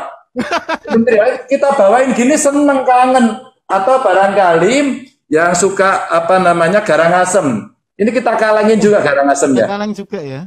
Oh iya kita kalengin ya. Ini Di mana mas belinya mas? Kok kita Kenapa? belum- kok belinya di mana itu barang-barang ini kaleng-kaleng ini? Ya kalau mau lewat saya boleh gitu ya. Jadi ini lagi ya mereka jualnya sih di mana-mana ya. Di mana-mana itu artinya Marketplace sudah ada ya? Ya, kita kita jodohin mereka dengan para pelaku marketplace. eh, terus kemudian apa namanya mereka kita ajak untuk latihan. Atau barangkali yang kita mulai me- memasuki pasar ekspor. Nah ini, ayo tebak Mas Erwin apa lagi? Sirup itu mas. Sirup, ya. Ya, betul, betul, betul salah gitu ya. ini sebenarnya gula semut. Jadi ini gula semut dari kelapa ya. Jadi kalau Mbak Nyumas banyak ini. Punya Pak Tato di Cilacap banyak juga ini. Jadi sebenarnya ini ini bagus tapi botolnya ini kita belum bisa. Jadi Pak Ferdinand ini botolnya kita belum bisa buat Pak. Ini masih impor dari Tiongkok. Dan harganya ya dengan ya se- segede ini berapa cc sini ya, kecil sekali. Ini harganya bisa 3000 kali dari harga kalau bubuk ya. Kalau sudah apa namanya eh, apa jadi kristal gitu terus kemudian dikiloin. Hanya dengan packaging bagus mereka akan bisa apa jualan dan sekarang ini kita ekspor ke Eropa. Jadi maksud saya nilai tambah tadi akan menjadi bagus. Atau kaldu jamur ya. Orang biasanya pakai bumbu masak. Sekarang kaldu jamurnya juga bisa begini. Dan ini kalau kemudian kita bawa ke banyak negara, terus kemudian mereka rindu bumbu Indonesia, maka kita bisa menjamah sana. Saya lagi ngobrol nih sama Jepang gitu ya, sama Belanda.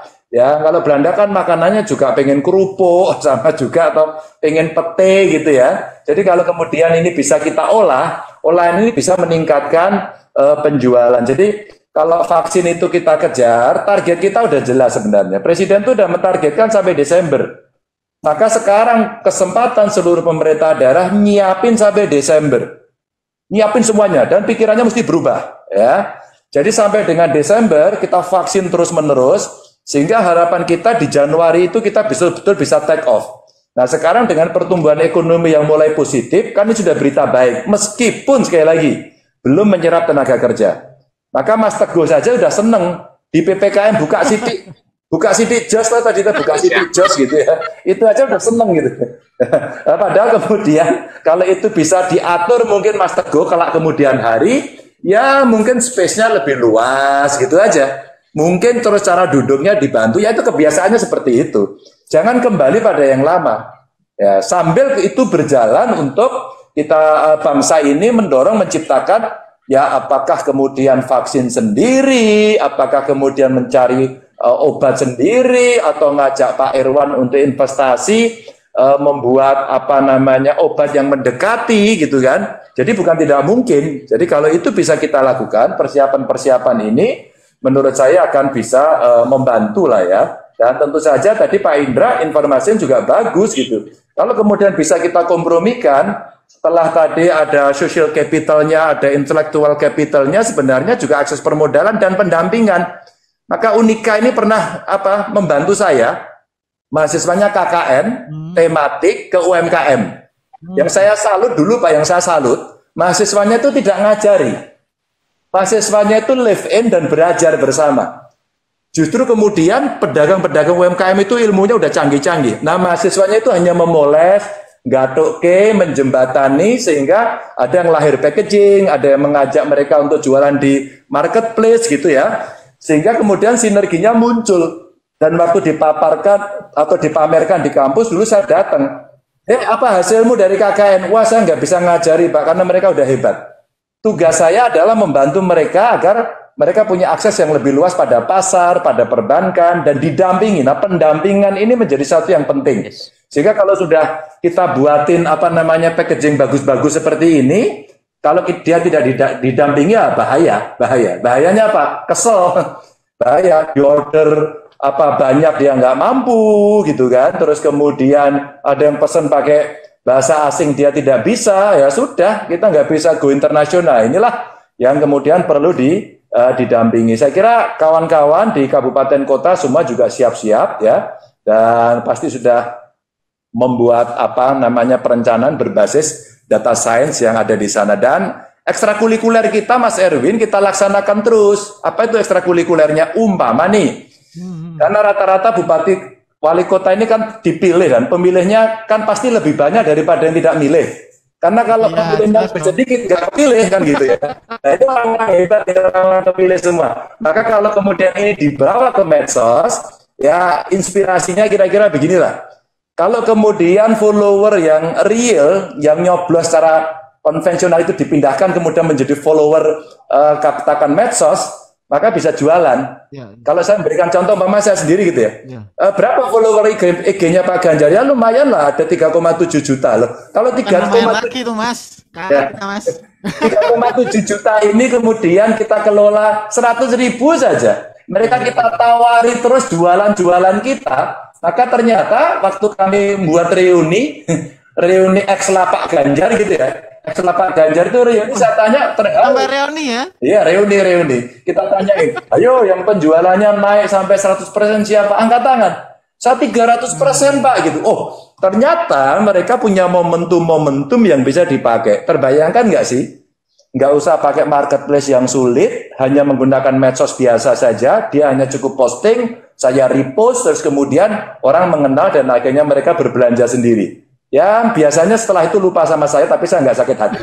Ikhlas lillahi ta'ala kira-kira gitu. Minimal endorse lah harusnya. Ya tukang endorsement lah. Ya sama lah waktu Pak Irwan itu apa namanya membuat tadi itu vitamin C-nya itu dikenalkan orang cepet banget. Karena udah terbiasa tahu dengan brandnya Pak Irwan. Kira-kira brandnya itu sudah kelihatan ini kualitasnya beneran orang ngapusi kira-kira gitu ya.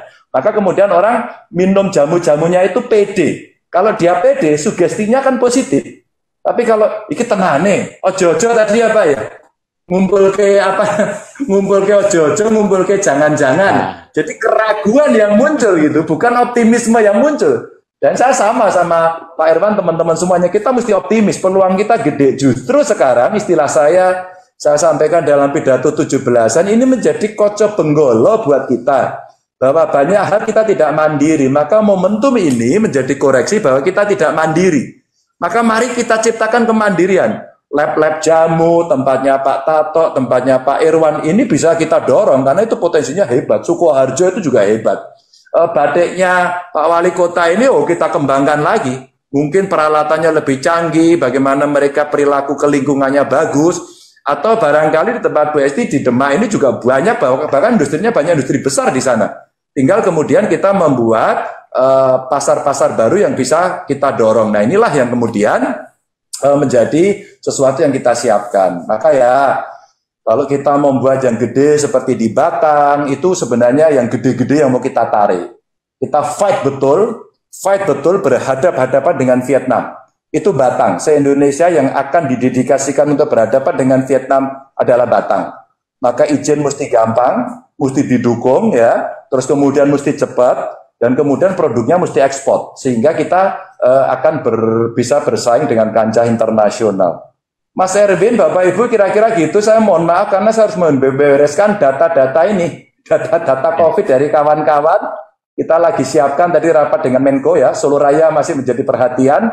Ya, terima kasih ini yang Cilacap, Demak ini malah data berdasarkan Inmendagrinya sudah kuning sendiri gitu ya. Uh, terus kemudian Pekalongan juga udah membaik gitu ya. Mudah-mudahan harapan Mas Teguh tadi mulai bisa dibuka ya. Dibuka terus kemudian jajan. Nah sekarang ASN saya saya buat gerakan. Ayo jajan. Eh ASN yang masih gajian dan dibayar oleh rakyat, ayo jajan, ayo jajan, aja pelit-pelit, ayo jajan, jajan, jajan gitu. Ini perintahnya Eh, enak ya, suruh jajan ya. Iya. Ini ini saya tenang ini bupatinya ini orang kaya, wali kotanya orang kaya nih. Jadi tenang, tenang aja. Ini wali kotanya pekalongannya ah, insya Allah kaya. Wah, Mbak Esti tenang guys, beres. Siap, Waduh. Tato ini pengusaha, Pak Tato pengusaha, jadi beres itu. Jadi mereka kalau jajan-jajan gitu maksud saya eh, biar ekonomi juga menggede ditukoni, ditukoni ya, ditukoni terus kemudian ini akan menggerakkan aku payu gitu ya. Ditukoni Pak Wali Kota, ditumbasi Bu Bupati, Pak Bupati itu senengnya apalagi di endorse. Nah, kawan-kawan ini sudah punya pengalaman yang hebat-hebat lah untuk menyiapkan itu. Mas Arifin gitu ya, nuwun sewu ya. Ganjar kita foto bareng dulu sebentar nih satu menit. Soalnya ini mumpung bareng semua, kita foto ya. Oke, satu, dua, tiga. Ya kita gaya bebas sekarang lagi satu lagi. Terserah mau gaya apa, mau gini. Satu, dua, tiga. Baik, terima kasih. Carimu sekali. bebas. Karena bebas aku yang ini tuh. Mas habis ini kayaknya Mas Teguh nanti bikin manyung kelek Mas. Oh iya, jangan salah loh, itu penggemarnya Bu Fal itu banyak. Saya endorse berkali-kali. Itu Bu Menlu, Mensesnek, Mensekap. Itu tajai ke sana apa namanya ngicipi gemuruh. Bu Susi Oh, Bu Susi itu minta dikirimi terus itu. Iya. Heeh. lebih enak lagi kan punya Mas Teguh lebih enak lagi minta dikirimi tur gratis lah itu warisnya luar biasa. Siap. Yang terakhir, yang, yang terakhir Ibu terima kasih Megawati. Mas Ganjar. Yeah. Terima kasih. Matur nuwun, matur nuwun semuanya. Mohon maaf ya, Bu Bupati, Pak Wali Kota, Pak Bupati, Pak Indra, Mas Irwan, makasih ya, Pak Ferdinand, thank you ya. Terus, Ya, ya, Mas. nuwun. Saya pamit dulu, monggo dilanjut, dilanjut ya. Baik, Tribuners Bapak Ibu, kita lanjut sebentar lagi ya. Tadi masih ada yang potong ya. Saya Mas Erwin, kira-kira perasaan Mas Teguh sekarang seperti apa setelah mendengar penjelasan Pak Ganjar tadi? Eh, agak sedikit lega, sudah sedikit lega gitu ya. Itu yang namanya hope tadi, Mas. Itu yang Ya. namanya Bapak Bupati, Ibu Bupati, Bapak Wali Kota kira-kira fungsinya seperti itu. Lalu masyarakat pasti akan muncul gairah, optimismenya pasti Ya, meningkat. ya. Kira-kira Yang begitu. pasti nanti habis ini ke BNI Mas, Ya. ke BNI minta kredit yang bunganya bisa ditawar. Itu. siap. Eh, Mas Aat juga ya Mas Aat. Nanti tak antar lah ke, Siap, Mas ke. BNI, BNI. Tapi juga jangan lupa Iya. peran media itu juga kunci, Mas. Hadirkan Iya. harapan. Media harus menghadirkan harapan, Mas. Iya, Jangan Pak. ketakutan ya. Oke. Siap. Beritanya Baik. selalu yang positif Oke, ya. yes. Oh itu pasti. Oke. Baik. Baik Bapak Ibu Tribuners sebelum kita close nanti ini ada beberapa pertanyaan yang masuk kita butuh waktu sedikit. Jadi aja mungkin 10-15 Pak Mas Erwin? Ya Mas. eh, mungkin saya tambahkan dikit terkait dengan ekspor Silakan, untuk silakan. pembukaan pasar. Jadi mungkin Ah. juga saya bisa tawarkan ke Pak Aat ya di Pekalongan, Pak Bupati. Jadi kita ini sekarang ada produk yang namanya Ekspora, Pak. Jadi Ekspora itu bagaimana kita bisa mengakses ke eh, pasar ekspor langsung di luar negeri karena kita punya 6 6 cabang di luar negeri yang bisa mensupport ekspor ekspor kita ataupun UMKM yang akan masuk ke pasar ekspor.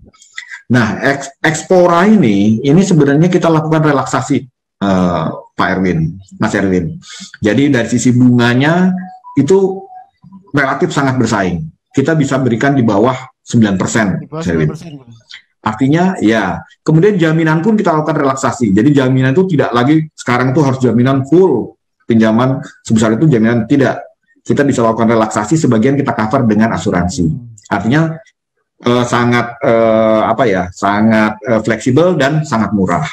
Demikian juga biaya-biaya ekspor pun bisa kita kita subsidi terhadap pelaku-pelaku UMKM ekspor ini. Nah ini beberapa hal yang bisa kami coba tawarkan bagaimana dalam kondisi pandemi ini UMKM kita bisa bantu untuk masuk ke pasar ekspor. Mungkin itu Mas Erwin tambahan dari Baik, kami. sebelum kita close, kita break dulu sebentar nih semenit. Nanti kita baru masuk ke closing. Pak Tato sabar dulu ya sebentar ya. Ini kebetulan Pak Tato juga mau ada acara. Kita ikuti dulu yang mau lewat Apa berikut itu ini. batik? Batik bukan hanya sekedar kain. Batik adalah saksi perjalanan hidup kami. Turun-temurun, batik telah mengikuti segala langkah dan kembang yang kami raih. Dari gendongan bayi, menjadi seragam sekolah, hingga akhirnya mampu hidup mandiri. Batik adalah kebanggaan kami, karya adiluhung yang akan selalu kita junjung di tengah kehidupan sehari-hari. Batik adalah identitas kami, membuat kami mengerti bahwa sejauh apa pun kami merantau pergi, kami tak akan lupa dengan jati diri. Batik adalah bagian dari kami, warga Jawa Tengah.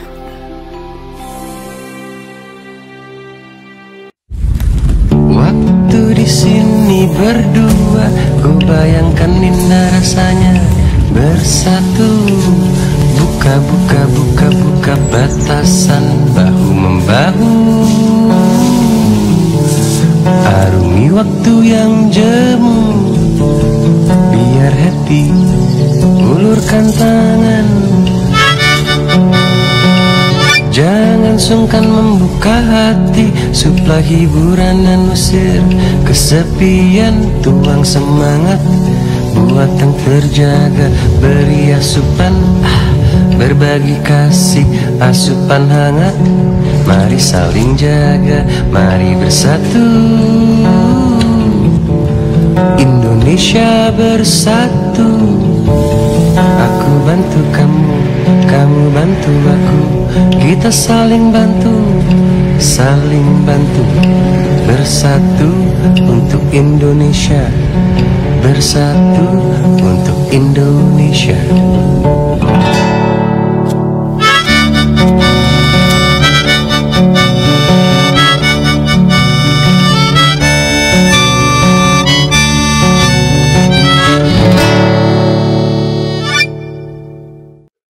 Tribuners, kita kembali lagi di Tribun Forum dengan tema bangkitkan ekonomi di tengah pandemi. Bapak Ibu semua, nggak terasa ini kita udah ngobrol ternyata udah satu setengah jam ya, saking serunya tadi cerita dari Pak Irwan, dari Pak Aat, Bu Esti, Pak Indro, Pak Teguh, Pak Ferdi tadi sangat menarik dan saya yakin menginspirasi ya Tribuners yang nonton hari ini. Sebelum kita close, mungkin saya kasih kesempatan untuk closing statement kepada semua yang hadir. Eh, Mas Aat, monggo Mas Aat, ada pesan-pesan enggak bagaimana sih biar ekonomi kita ini tumbuh lebih pesat lagi dan cepat? Mic-nya Mas, dinyalain dulu. Ya, terima kasih Mas Erwin. Ini eh, berkaitan dengan apa ya? Tadi yang disampaikan Pak Ferdinand ini sangat luar biasa. Jadi kita eh, memberikan harapan kepada mereka karena di masa pandemi dan apalagi kemarin ppkm darurat ini semua semua sektor, sorry, semua sektor eh, 80% sektor ini eh, pasti terdampak. Nah, bagaimana kita memberi harapan, kita memberi peluang kepada mereka, kita memberi keyakinan eh, kepada eh, masyarakat untuk ya supaya mereka bisa bisa eh, survive ya bisa bisa bisa eh, tumbuh. Ini ini perannya tentunya dari dari berbagai macam pihak semuanya harus bekerja sama. Karena di masa pandemi ini di masyarakat sendiri ada ada tiga tipe. Eh, Mas Erwin tipe yang pertama ini memang terdampak pandemi masih mampu menolong menolong orang ya. Terdampak pandemi ini masih bisa bertahan untuk eh, dirinya dan keluarganya. Ya terus yang terdampak pandemi ini yang yang betul-betul tidak bisa apa-apa apalagi terhadap mereka yang bekerja sehari untuk untuk makan sehari. Nah ini kita kombinasikan eh, ketiga eh, tipe masyarakat yang ada ini bagaimana supaya kita ya harus bersama-sama harus membantu. Alhamdulillah di kota Pekalongan ada gerakan para pengusaha peduli ya ini pengusaha peduli rakyat ini juga mereka menggalang dana untuk bagaimana eh, mereka ngasih yang eh, isoman untuk bagaimana mereka eh, kebutuhan oksigen. Kemarin pada masa eh, kita Jawa, di Jawa Tengah kekurangan oksigen ya ini pergerakan-pergerakan ini harus bersama-sama. Tentunya kalau untuk pengusaha ya peran perbankan ini ya Pak Indra. Untuk eh, paling tidak itu tadilah yang ya seperti yang disampaikan yang dikeluhkan bahwa ada- harus ada eh, dispensasi untuk untuk bagaimana sebab semuanya berat kalau tidak ada dispensasi eh, kita masih kaku ya semuanya berat tentunya ini harapannya di semua daerah terutama di Jawa Tengah untuk untuk eh, masyarakat ini harus bersatu. Jadi tidak cukup hanya peran pemerintah, tidak cukup hanya peran eh, pengusaha, semua elemen masyarakat untuk betul-betul sadar bagaimana cara eh, menjalankan prokes ini. Sebab eh, pada tahun 1945, Mas Erwin ya, ini para pejuang kita eh, berjuang meraih kemerdekaan ini dengan bambu runcing. Ya, di momen kemerdekaan yang ke-76 ini kita berjuang me- memper- apa, meraih kemerdekaan ini dengan prokes ini juga sudah berbeda ya sudah berbeda jadi semuanya ya harus sesuai dengan situasi dan kondisi mudah-mudahan lah ini kalau kita lihat juga semua daerah di Jawa Tengah sudah sudah menurun eh, terutama di Kota Pekalongan sektor usaha sektor eh, wisata semuanya bisa tumbuh kembali harapannya itu ya Penuhun Mas Terima Arwin. kasih Mas Aat. Libatkan rektornya Unikal Mas Aat.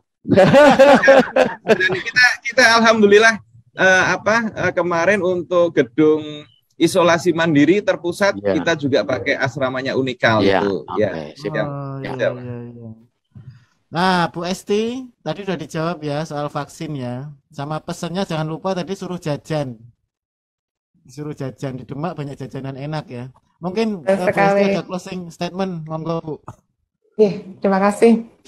Pak Arwin mungkin eh, singkat saja tadi dari Pak Wali Kota sudah sangat eh, panjang lebar kita setuju sekali di mana masa pandemi ini eh, tidak hanya satu sektor semua sektor khususnya para wirausaha ini eh, sangat berdampak. Tapi dengan adanya semangat kemudian tadi motivasi-motivasi sudah dihadirkan dari Pak Ferdinand itu bagaimana harapan dan jadi harapan siasat dan juga mungkin ada manuver-manuver tertentu nanti dan di tadi Pak Ganjar juga mengatakan eh, menyesuaikan dengan kehidupan barunya jadi prokesnya tetap dijaga. Eh, insya Allah kita bersama-sama dengan adanya peran pemerintah juga, insya Allah kita bisa melalui ini dan bisa bangkit bersama-sama. Mungkin cukup demikian, Terima kasih, Pak Erwin. Esti. Sukses terus ya, udah kuning, mudah-mudahan segera hijau. Amin. Pak Irwan, Pak Irwan, mungkin ada closing statement Pak Irwan atau ada pesan-pesan khusus untuk semua yang nonton hari ini? Ya, kalau pesan saya ya menurut saya Jawa Tengah itu punya potensi. Kalau di bidang saya eh, jamu itu salah satu potensi eh, apa ya market size-nya itu gede sekali. Harus lebih gede dari obat. Terus yang yang kalau mau eh, dikembangkan yaitu produk-produknya harus baik. Jadi bukan cuman jamu, tapi juga kalau restoran, ya. Restoran itu restorannya harus bersih, harus Pak Afsan, saya istri saya orang Pekalongan, Pak. Pekalongan, Oh, iya, iya, Eh, Pate eh, depannya Balai Desa, mana itu ya, Dokter Wahidin. Oh, nggih nggih nggih nggih Pak Irwan. Jangan tetangga Nirwana. Nggih, Ya. Hotel Nirwana nggih. produknya harus baik. Restoran kalau restoran ya restorannya harus bersih. Loh meskipun sederhana kan saya sering makan di Carlam, eh, apa? Toto tahu to Carlam ya. Tauto Carlam terus Gedung Uni itu loh, sate kebu. Sate kebu, sate nang, ayam nangkis. Ya, semuanya ya di Demak. Mau kalau itu produknya restoran ya harus bersih, meskipun tempatnya sederhana. Carlam itu kan kotor banget. Iya toh? Ya, eh, jadi kalau kita pasti kemeringat gembrobios, Enggak itu loh, tempatnya itu loh, tempatnya ya. sempit sederhana tapi Sempit. kalau kalau bersih kan beda gitu. Nah pokoknya produk yang baik itu yang nanti akan buat Jawa Tengah ini hebat. Ini kebetulan Pak Teguh saya di Cipete kan cedak mbak restorannya. ya toh kan sini buka restoran toh Yang di mana, Pak? Cipete Raya. Oh iya. Yang di Jakarta itu ada di Cipete Raya, di terus di Cempaka Putih. Yang Ya, terakhir di saya- Bekasi. Saya, saya kantor saya ini Cipete Raya ini. Kira-kira 20 rumah dari itu Manyung eh, Bufat. Ya. Ya, pokoknya kalau bersih ya, kalau produknya baik ya, itu memberi harapan dan saya sih optimis sekali Indonesia ini akan akan hebat karena apa? Karena dikelola dengan benar dan beralamnya itu luar biasa gitu. Sumber alamnya luar biasa. Jadi yang penting ya itu mesti baik, mesti baik, mesti baik. Harus baik. Kalau nggak baik, udahlah. Nggak usah diomong lagi. Cuman soal waktu. aja. Iya, Nah, itu iya. aja. Terima kasih. Terima kasih Pak Irwan, Pak Ferdi. Ya, terima kasih Mas Erwin. Ya. Eh, saya mengalami hal yang sama sebenarnya. Kemarin pertemuan dengan mahasiswa itu mereka sudah bosen banget, sudah enek dengan online gitu. Maka saya juga akan menghadirkan Hope and Optimism virtual concert besok. Pas pelantikan, Mana itu, Pak? pas pelantikan saya nanti lewat YouTube, Mas. Ya. Oh, Jadi iya, kami iya, akan hadirkan konser untuk membangkitkan harapan dan optimisme mahasiswa. Saya pikir di semua bidang akan sama. Fungsi atau kehadiran harapan itu energinya sangat besar. Monggo Bapak Ibu, Bupati, Wali Kota, Pak Gubernur, kalau butuh meningkatkan kualitas produk yang baik, jangan ragu-ragu kontak saya. Yang bisa saya bantu dari fakultas apa. Nah, kami punya Nomornya nanti saya kasih. ya, punya fakultas teknologi pertanian, punya fakultas ilmu komputer komunikasi, siap. Karena kami juga ingin mendorong anak-anak sesuai dengan arahan Pak Menteri, merdeka belajar itu bisa di mana saja. Dan kemarin pengalaman KKN Pandemika di Kota Semarang mendampingi UMKM luar biasa. Jadi anak-anak itu bukan mendapatkan ilmu saja, tetapi juga mendapatkan sebuah makna ketika berhasil membantu Mbok D, Mbok D usaha kecil-kecilan lalu bisa digital marketing itu sesuatu banget bagi mahasiswa. Itu Mas Erwin jangan pernah kehilangan harapan dan membangun optimisme karena itulah energi yang gede untuk menghadapi masa pandemi ini. Terima kasih. Ya Pak Ferdi, Pak Indra, monggo Pak Indra. Terima kasih Mas Erwin. Jadi memang untuk BNI sendiri di tengah kondisi pandemi ini tadi sudah saya sampaikan bahwa eh, kita awal kita lakukan eh, upaya penyelamatan, mendorong stimulus ekonomi dengan eh, percepatan eh, PEN, pemulihan ekonomi nasional dan yang sekarang kami lakukan juga salah satunya adalah membuka pasar. Jadi tadi saya sudah sampaikan bahwa bagaimana kami banyak lakukan hal-hal supaya UMKM ini bisa nembus pasar ekspor. Jadi untuk Pak eh, Pak Aaf di Pekalongan, Bu Esti ya, Esti di Demak maupun Pak Toto di Cilacap, apabila ada pelaku UMKM yang perlu support baik terkait dengan modal maupun akses ke pasar ekspor, bisa kontak ke eh, unit yang terdekat di BNI. Kami siap support. Jadi terkait pandemi ini, BNI tetap eh, berdiri di samping UMKM. Terima kasih, Mas Erwin. Siap Pak Indra, jadi nanti Pak Indra mungkin keliling-keliling ya, nanti ke daerah-daerah. Ya. Pak Teguh, monggo Pak Teguh, kalau ada harapan sebelum saya tutup. Baik, terima kasih. Jadi harapan kami mudah-mudahan pandemi bisa cepat selesai dan Amin.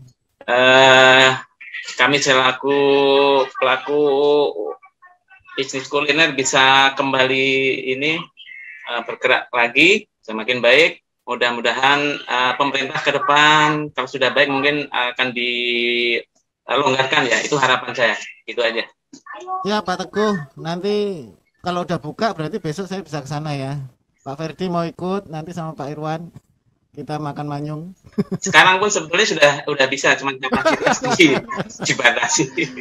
Baik, terima kasih Tribuners. Itu tadi obrolan kita hampir dua jam ya.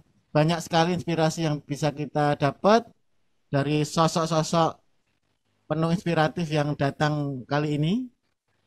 Jangan lupa nanti ketemu lagi bersama saya, pemimpin redaksi Tribun Jateng, Erwin Ardian, dalam Tribun Forum berikutnya dengan topik-topik menarik lainnya.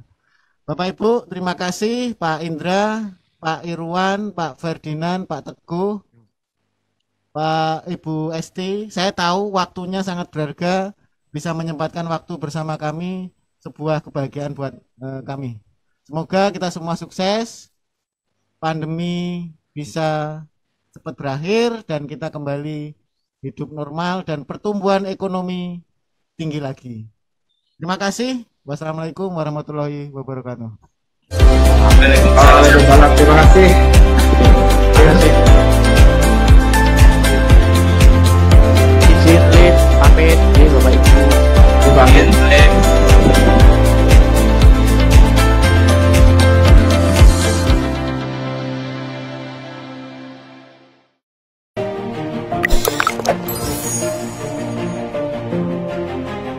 Saat ini merupakan momen di mana bersatunya kita semua merupakan faktor penentu untuk dapat keluar dari krisis. Kolaborasi adalah kunci untuk mencapai kekuatan bersama dalam masa sulit. Bangga menjadi bagian dari kampanye Grab Healing terbesar di Asia Tenggara yang bertajuk Bersatu. Ini merupakan momen untuk bersama-sama berkontribusi.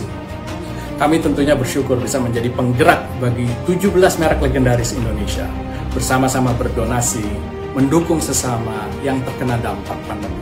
Pesan yang positif ini kita lihat akan kuat karena tidak hanya dilakukan masing-masing industri secara terpisah, tapi dilakukan secara bersama-sama. Sejak berdiri pada 2017 lalu, OVO membawa misi untuk memberikan kesempatan yang setara dengan menyediakan akses keuangan yang mudah dan handal untuk memberdayakan UKM dan meningkatkan taraf hidup warga Indonesia. Grab telah dan akan terus memberdayakan berbagai elemen masyarakat Indonesia melalui pengembangan ekonomi digital. Dalam menyambut ulang tahun kemerdekaan Republik Indonesia, kita diingatkan mengenai semangat bersatu dari pahlawan sehingga sukses meraih kemerdekaan 76 tahun yang lalu. Dengan inisiatif ini, pengguna Grab juga menjadi mudah untuk berdonasi dengan tepat sasaran. Satu padu kita bisa membawa bangsa Indonesia menjadi bangsa yang kembali kuat, bangsa yang bangkit, bangsa yang sehat. Sehat Indonesiaku, sehat negeriku, ayo bersatu. Mari bersatu untuk Indonesia. Ini saatnya kita turun tangan bersama dan bersatu untuk Indonesia dengan berdonasi untuk membantu para nakes, rumah sakit, anak-anak, sampai pedagang asongan dan kalangan masyarakat lainnya yang sedang berjuang melawan pandemi. Caranya mudah.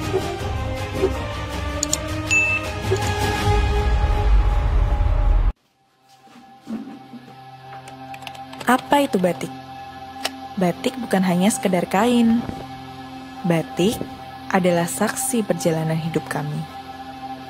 Turun-temurun, batik telah mengikuti segala langkah dan kembang yang kami raih. Dari gendongan bayi, menjadi seragam sekolah, hingga akhirnya mampu hidup mandiri. Batik adalah kebanggaan kami, karya adiluhung yang akan selalu kita junjung di tengah kehidupan sehari-hari. Batik adalah identitas kami, membuat kami mengerti bahwa sejauh apa pun kami merantau pergi, kami tak akan lupa dengan jati diri. Batik adalah bagian dari kami, warga Jawa Tengah.